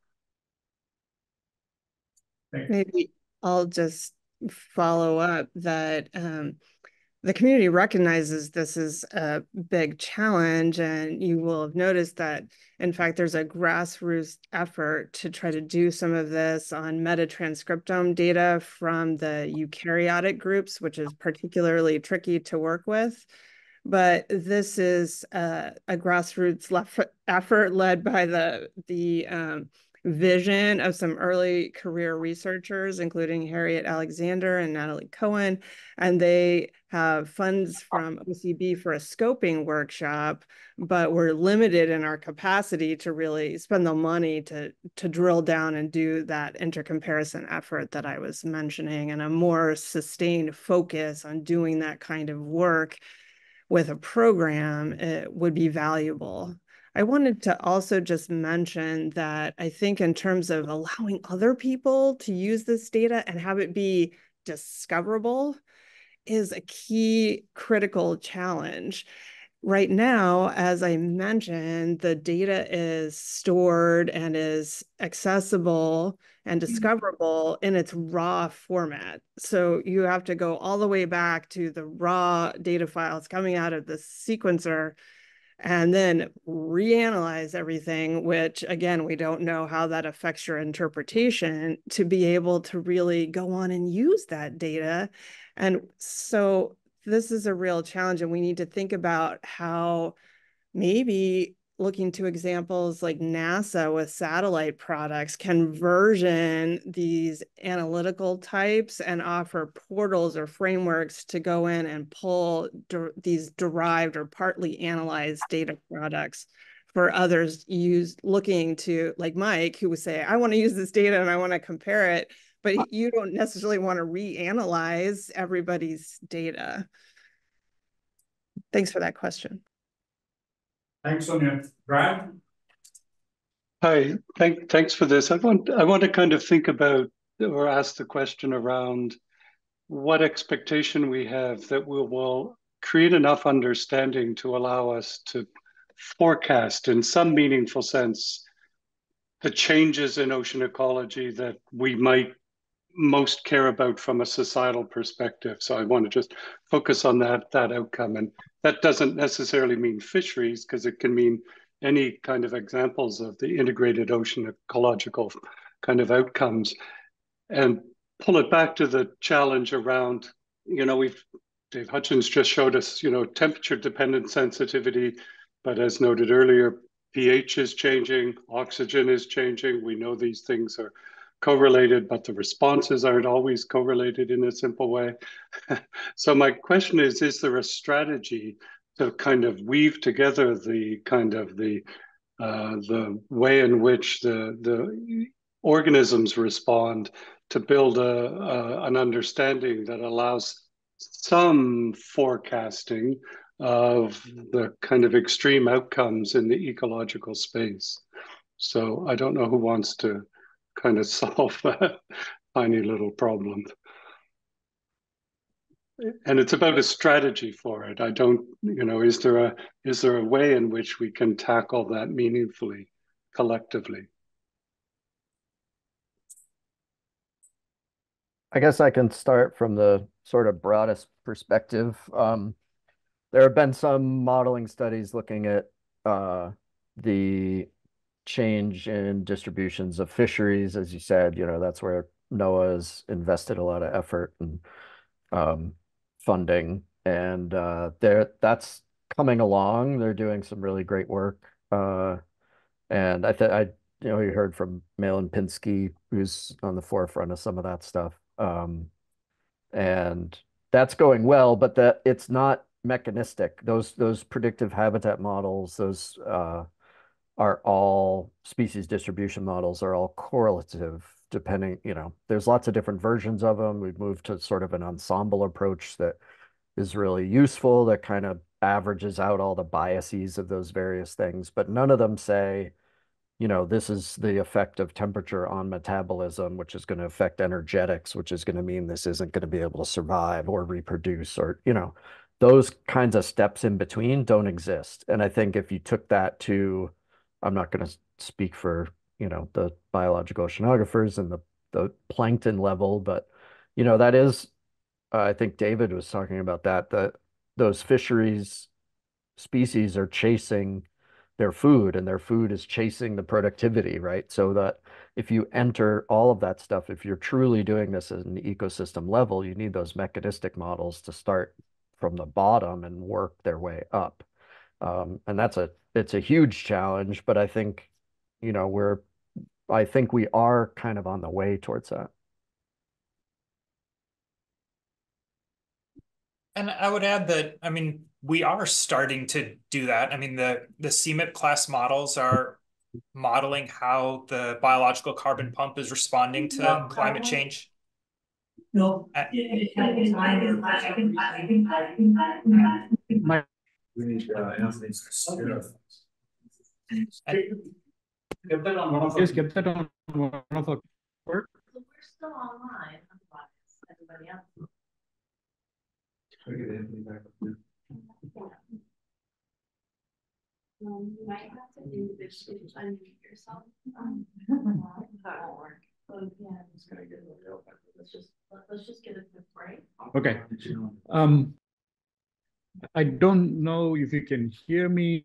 Is uh, someone online can give me a thumbs up if you can hear me? Yes, you can. Okay, great. Um, we're having some technical difficulties on this side. Uh, the screen went offline. So we're gonna take a short break. Uh, I hope you can stick around till we get back. Um, I know, Sonya, that you're in the middle of your um, um, of uh, of your event, and so if you need to go, that's okay. I mean, thank you again for being here, but Carry on. We can carry on. Yeah. but we can't It hear. seems right? to be working now from They can hear the outside. we can't hear them because if we unmute ourselves, then we're gonna have an echo problem. Unless there's one person unmutes. That's right. Okay, so let me just try this. Um, can somebody say something online? Somebody online say something? Hello, Ajit. It's Okay, Brad. excellent. Yep. Turn your volume way up. Yeah. Turn the speaker on. Okay, uh, maybe we'll do it this way. Um, the where we were was um, Brad had asked a question, then there was a bunch of people who had their hands up. Uh, um, the next one was Pete. You want to go? Okay, I'm going to unmute. Okay, there we Go go. And third time's the charm. All right, can everybody hear me online?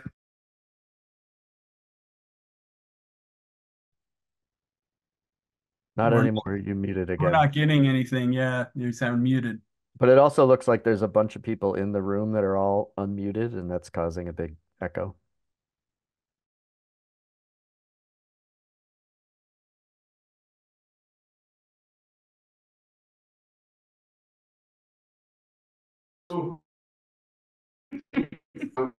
Uh, Tuba, Rick, Maya, Marcia, Leela are all unmuted.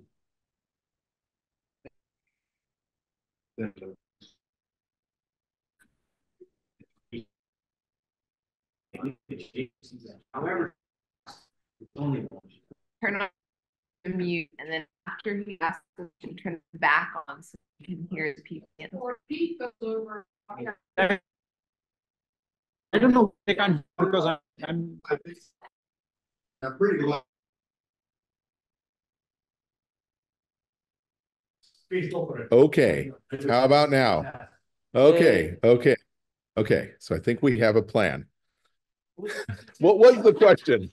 All right, so the question um was, I'm gonna, I'm gonna uh focus this on uh the microbial side of things, but I think it's equally relevant for what Eric and others talked about. And th- that is, you know, we we uh your presentations really resonated with me, right? We have uh challenges in understanding patterns and processes across space and time throughout, frankly, like the entire ocean. And there's this tension between, at least in my mind, of really uh, intensely studying uh, a few, uh, sort of a, a subset of locales to really try and make some of the connections that you all alluded to, right? I mean, if you really want to tie processes from the seafloor to the sea surface, there's something to be said for doing that at a specific point in, in space or a number of them. And then there's this question of breadth. And then, you know, that the third question, of course, is all the existing data. And I guess I wanted to ask for those of you thinking about the microbiome side of things, I'm going to kind of ask you to, to do something that's difficult and pick one to prioritize. And I want to be clear, this doesn't mean we,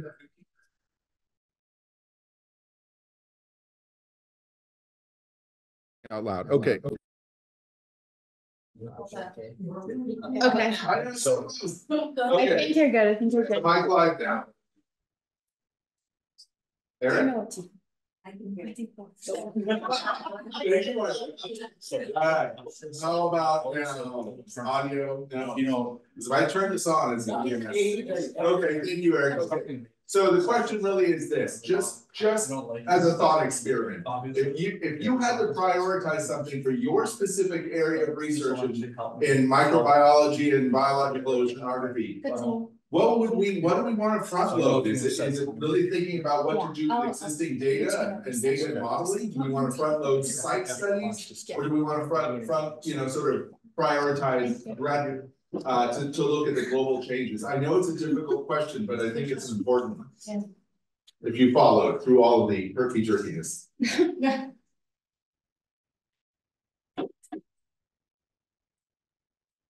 We're getting a lot of noises and comments from multiple venues, but I think I followed that and hopefully you can hear me. And, uh, you know, that's like asking to choose a favorite child. So uh, thanks for that question. But uh, I, I personally feel that there is real value in leaning into the time series from my perspective while we have some omics measurements, for example, from BATS or HOT across profiles over time on scales that we know are already changing, that's largely been ad hoc with a certain investigator coming in with one of those views.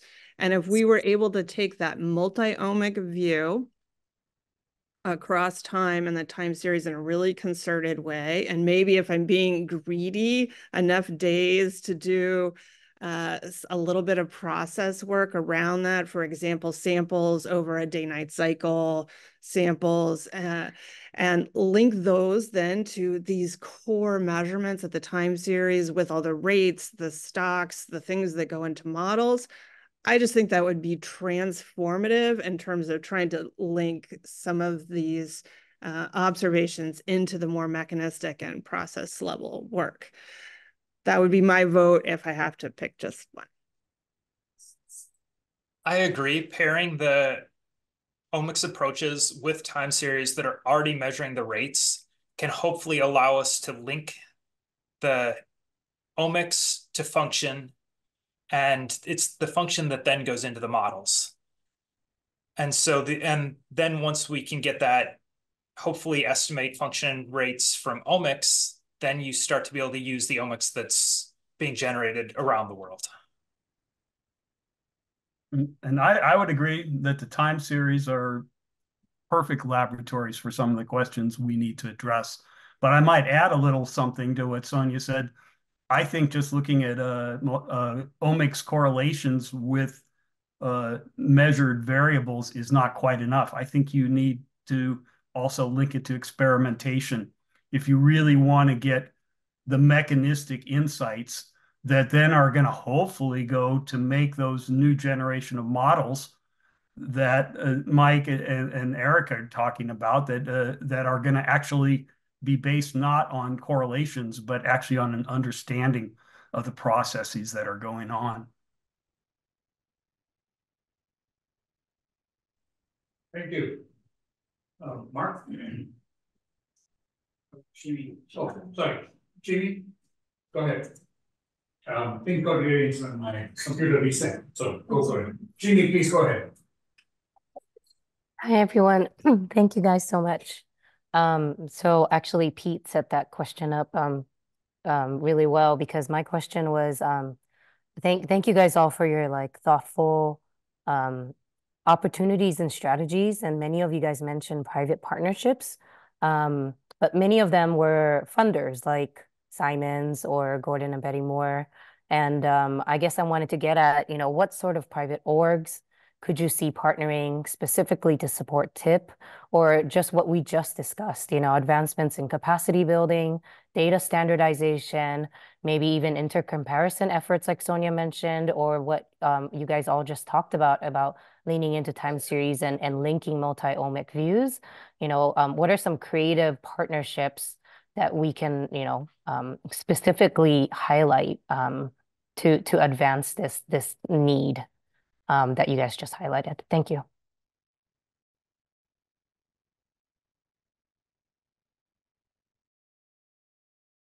Thanks for that question, Shimi. I, this isn't uh, exactly a .org type situation like you were looking for, but uh, one thing that comes to mind that I want to point out is that the Department of Energy has made major investments in both thinking about systems context from molecules to ecosystems in terms of data analysis infrastructure, of building out individual cellular models, which we can use to test the sensitivity and then integrate into the larger scale models.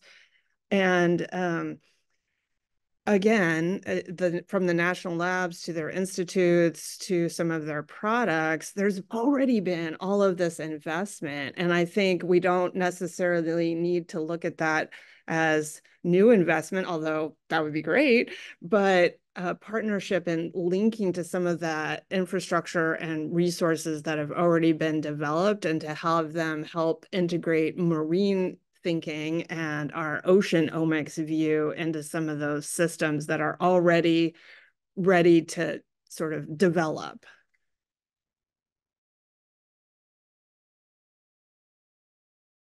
Um, I could give a different perspective, and thanks for that question, Shimi. Uh, there's a few, when I was talking about, you mentioned TIP, and I was talking about a cyclical relationship with industry and not this sort of one-way thing. Um, you know, I came on a couple minutes early and you guys were talking about the um, telecommunications cables, which I think is a good example of infrastructure that's already sitting there that science hasn't really tapped into. Um, there have been some partnerships with like cruise ships to collect data around the world, yachts, the same kind of thing. Um, one that hasn't been exploited yet is the giant fiber optic network with in-place stations that's all over the Gulf of Mexico in the form of oil rigs. These are all over the place. They're all hardwired. They could be collecting insane amounts of data levels relevant for the physical oceanography. Um, you know, these are off of California. You could make, as decommissioning proceeds, you could make permanent offshore labs on some of these structures. These are, you know, that's a billions of dollars in investment that's just sitting there untapped. Um, we also, you know, we have our friends from Schmidt Ocean Institute are here, the Ocean Exploration Trust, some of the other, um, you know, Nekton Group, some of the other private foundations and the, um, a few billionaires running around with large research vessels and submersibles that have access to the deep ocean. And there are a limited number of scientists that have access to that and um, only a few cases in, that I know of of partnerships with NSF. Um, and uh, those are often up to the investigator to sort of navigate that funding space and go back and forth between those organizations. And that could greatly be facilitated.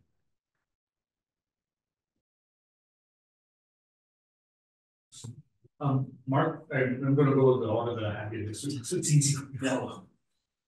Um. So a number of you talked about cyber infrastructure, and this is a bit related to the last couple of questions, but um, I'm curious if you could add some more specifics on like where the most pressing needs are. For example, are there needs in HPC computing? We've heard from some communities that particularly at smaller colleges and universities, these aren't as easily available.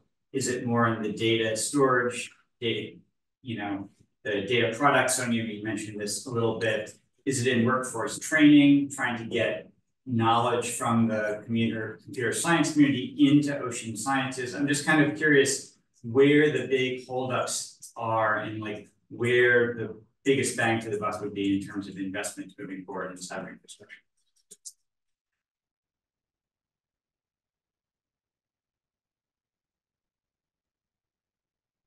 I'll just share from my perspective again. It's hard to pick just one of those, Mark. I see all of them in, in terms of the omics, uh, microbiology, molecule space as critically important. Um, HPC, I mean, these omic analyses, and if we were to integrate this in a meaningful way into the time series, this is a large HPC high memory node for weeks type of effort to try to process these data. And so this kind of again ad hoc everyone tries to find their own little hpc allotment and do their own thing is unlikely to be fruitful in the long term similarly if we want to make derived data products from all of that compute investment accessible and discoverable, we need to store it somewhere.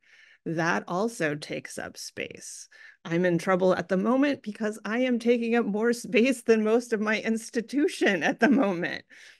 And uh, again, an ad hoc, well, Sonya's going to try to keep this accessible as long as she can type of approach is not the way to do it. And as I mentioned in my remarks, we need to train the next generation of oceanographers to be able to generate, analyze, and discover and use these data products. So I think all three of those facets are current roadblocks that need to be addressed.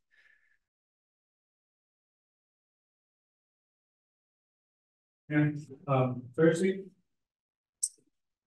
Yeah, uh, thank you. So bear with me, my question has evolved a bit as people have been answering portions of it through this conversation. And so I'm at a slightly different question now. But you know, you guys were talking about, a number of you touched on how we recognize humans have a lot of activity occurring in the ocean industry, and we're shifting and promoting, promoting even more in different aspects, NPR, um, offshore wind. And at the same time, there are a lot of unanswered questions about the deep ocean as well as the microbial loop. And recognizing that the industry is not waiting for us to answer those questions before they're actually beginning to test and move forward with initiating some of these actions and activities.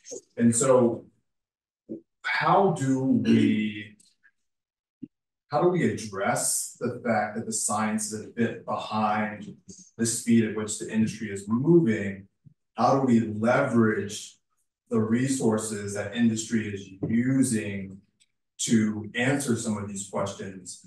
And one, why don't we do this already? And how do we facilitate that kind of shift and change? And I mean this from like a cultural perspective in terms of individual researchers thinking more creatively about um, these partnerships, but also even requiring the regulatory agencies to enforce, maybe even require as part of say like lease offering by BOEM that say an offshore wind developer has to partner with and or share the data they. They collect a lot of data and sits in these kind of proprietary repositories that few people ever see. But if you think about, let's say, an example, of the offshore wind industry in the East Coast, they've collected a ton of data in the in the New York Bight. And it's in these patchwork um, proprietary silos from each individual um, developer.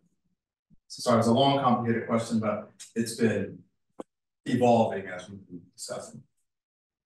No, that's a that's a great one, and I can just talk about um, that issue from my experience with the oil and gas industry um, it is you, you know you kind of answered your own question in a way because it is in the regulatory agencies so it's that requirement that those environmental impact assessments are done in the first place which especially for uh, cdr they are not really in place and what is required is really incomplete insufficient in my opinion and then requiring that those data are made public. Um, BOEM houses a lot of industry data and you can get access to a lot of it, uh, but you have to navigate that individually. You have to know who to ask. You have to go to their facilities. It's really complicated. Um, it's not really easy. And the industry should be funding the collection of that environmental data. This is part of that cyclical process. These are national resources. These belong to every person in the United States. We shouldn't be just handing them over and allowing the extraction and or taking, you know, profiting from these parts of land that are and uh, seafloor that are part of uh, our, you know, national heritage. Um, so industry should be funding the collection of those data and those data should be public. And that takes a government regulatory agency to put those regulations in place. And that, you know, goes beyond NSF. Um, that's somebody else, but it needs to be done and we're way behind. Science is not going to be able to go fast enough with small pieces of funding to catch up with industry. No way. Thanks, Eric. And Steve, you've been very patiently waiting. I guess you get to get the last question before we wrap up the session. And then lunch, right? So, uh, so I'm, what we want to sort of bring up is it, there's trying to put these different elements together. And one element is um, sort of large infrastructure projects collecting data in the global ocean and models that put all that together to try to make predictions of what's happening. And those models have rates of what's happening, including biological ones that that are are used to inform our our forecasts. But on the other side, we've been hearing from from you all and lots of other people um, that species matter. That the way an ecosystem functions is dependent upon the species that that are in there, whether it's kelp forests or the phytoplankton or or the diatoms. Um, and you've all given examples of that. And so this, my question is, how do we reconcile those two worldviews? That one, where you can you can generate some rate of biological stuff that you can put into a global model, and then two, that you have to know the species that are really there in order to know how that ecosystem functions. And, you know, I'm, I'm just, how, how do you see those elements coming together? Do you need to know every species there in order to predict how the ecosystem functions? How do you, how do you pick which ones are important? How do you, how do you bridge the gap between the species specific world um, that's coming from the genomics and the, um, the sort of modeling, let's try to just estimate stuff world? So Steve, I think I can try to start answering that. And I think that taking sort of a trait-based approach can be a good way to match these. So with the example of Thalassiosira that seems to be really important to carbon export in the California current ecosystem, there has to be some reason that it's important. My personal thought is that it's because there's some evidence that that taxon is digestion resistant. And so when it gets eaten by zooplankton, it's passing right through the guts and contributing directly to export without being consumed by the grazers. So if that's, I think we need to make those links. Is it digestion resistant? Then we look at what other taxa are digestion resistant and how does the digestion resistant trait vary in time and space rather than necessarily how do each of those species vary in time and space. And so that may become a mechanistic link that we can make. We can predict when digestion resistance will, will be prevalent, and then we can predict what the impact of that will be.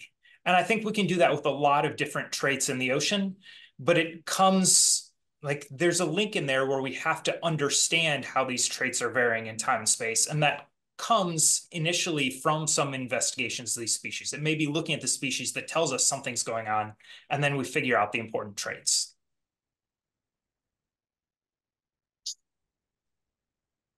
Kristy Kroeker had a similar point in her recorded um, talk where she was talking about looking at species that have a, a strong impact on the environment, so sort of the strong interactors, um, and trying to find those and, and use those but that's an ecological question and is is going to require some very careful look at a lot of different ecosystems. Um, yeah. I think, in my from my point of view, NSF is doing a pretty good job of that, Steve. I mean, they funded uh, for years. They funded dimensions of biodiversity. Now there's this new biodiversity RFP that just came out with bio and geo together. Um, actually, I think uh, NSF recognizes that issue very well, and and hopefully, if we get enough uh, uh, good investigators working on it, we can we can actually answer some of the questions you're raising there. Right, and make that link between the complicated data and then the the the modeling efforts that that, that can't deal with thousands of species all, all everywhere. Yeah, that's right. Thank you. Um, just wanted to say that uh, Carlos has a question in the chat, um, but um, since we are basically now ten minutes behind, um, I would like to point you to the question and then see if you have answers. And this has to do with other ways of collecting uh, data using uh, basically working with fishers, small scale fishers. Maybe you want to ask the question, then we wrap. Okay, yeah, maybe, maybe I can just ask it for future thought. I, I was just wondering, based on the questions mostly by Shini and Kersey, Uh, about networking, getting information that be key to answering some of these questions. And I'm always thinking about ways to collaborate with, you know, local ecological knowledge holders and fishermen, small scale, etc. So I was just wondering that, right, uh, what are some things that, if there is anything that could be observable by fishermen and their vast fleets in different places that are always out there that could shed light or maybe uh, raise an alarm, maybe a shift in a key indicator species that links the microbial loop with the larger species that are the focus of fisheries, anything like that, you know, uh, that could provide a partnership with fishermen across the world and they could share maybe by social media, things like that. You know. I don't know, just yeah, brainstorming. Thanks, Carlos. Um, I would like to thank the speakers um for putting the time and. And with that, I guess we call the session closed. Correct, and I guess that that concludes our open public session for the day. For today. Um, so thank you to those of you who were online, um, uh, observing from the public. Very much appreciate you all's presence here. And I hope you got as much out of these two sessions as we did. I certainly furiously wrote down notes. Um, and uh, yeah, thank you. And with that, I guess we're breaking for lunch. Yeah. Yes.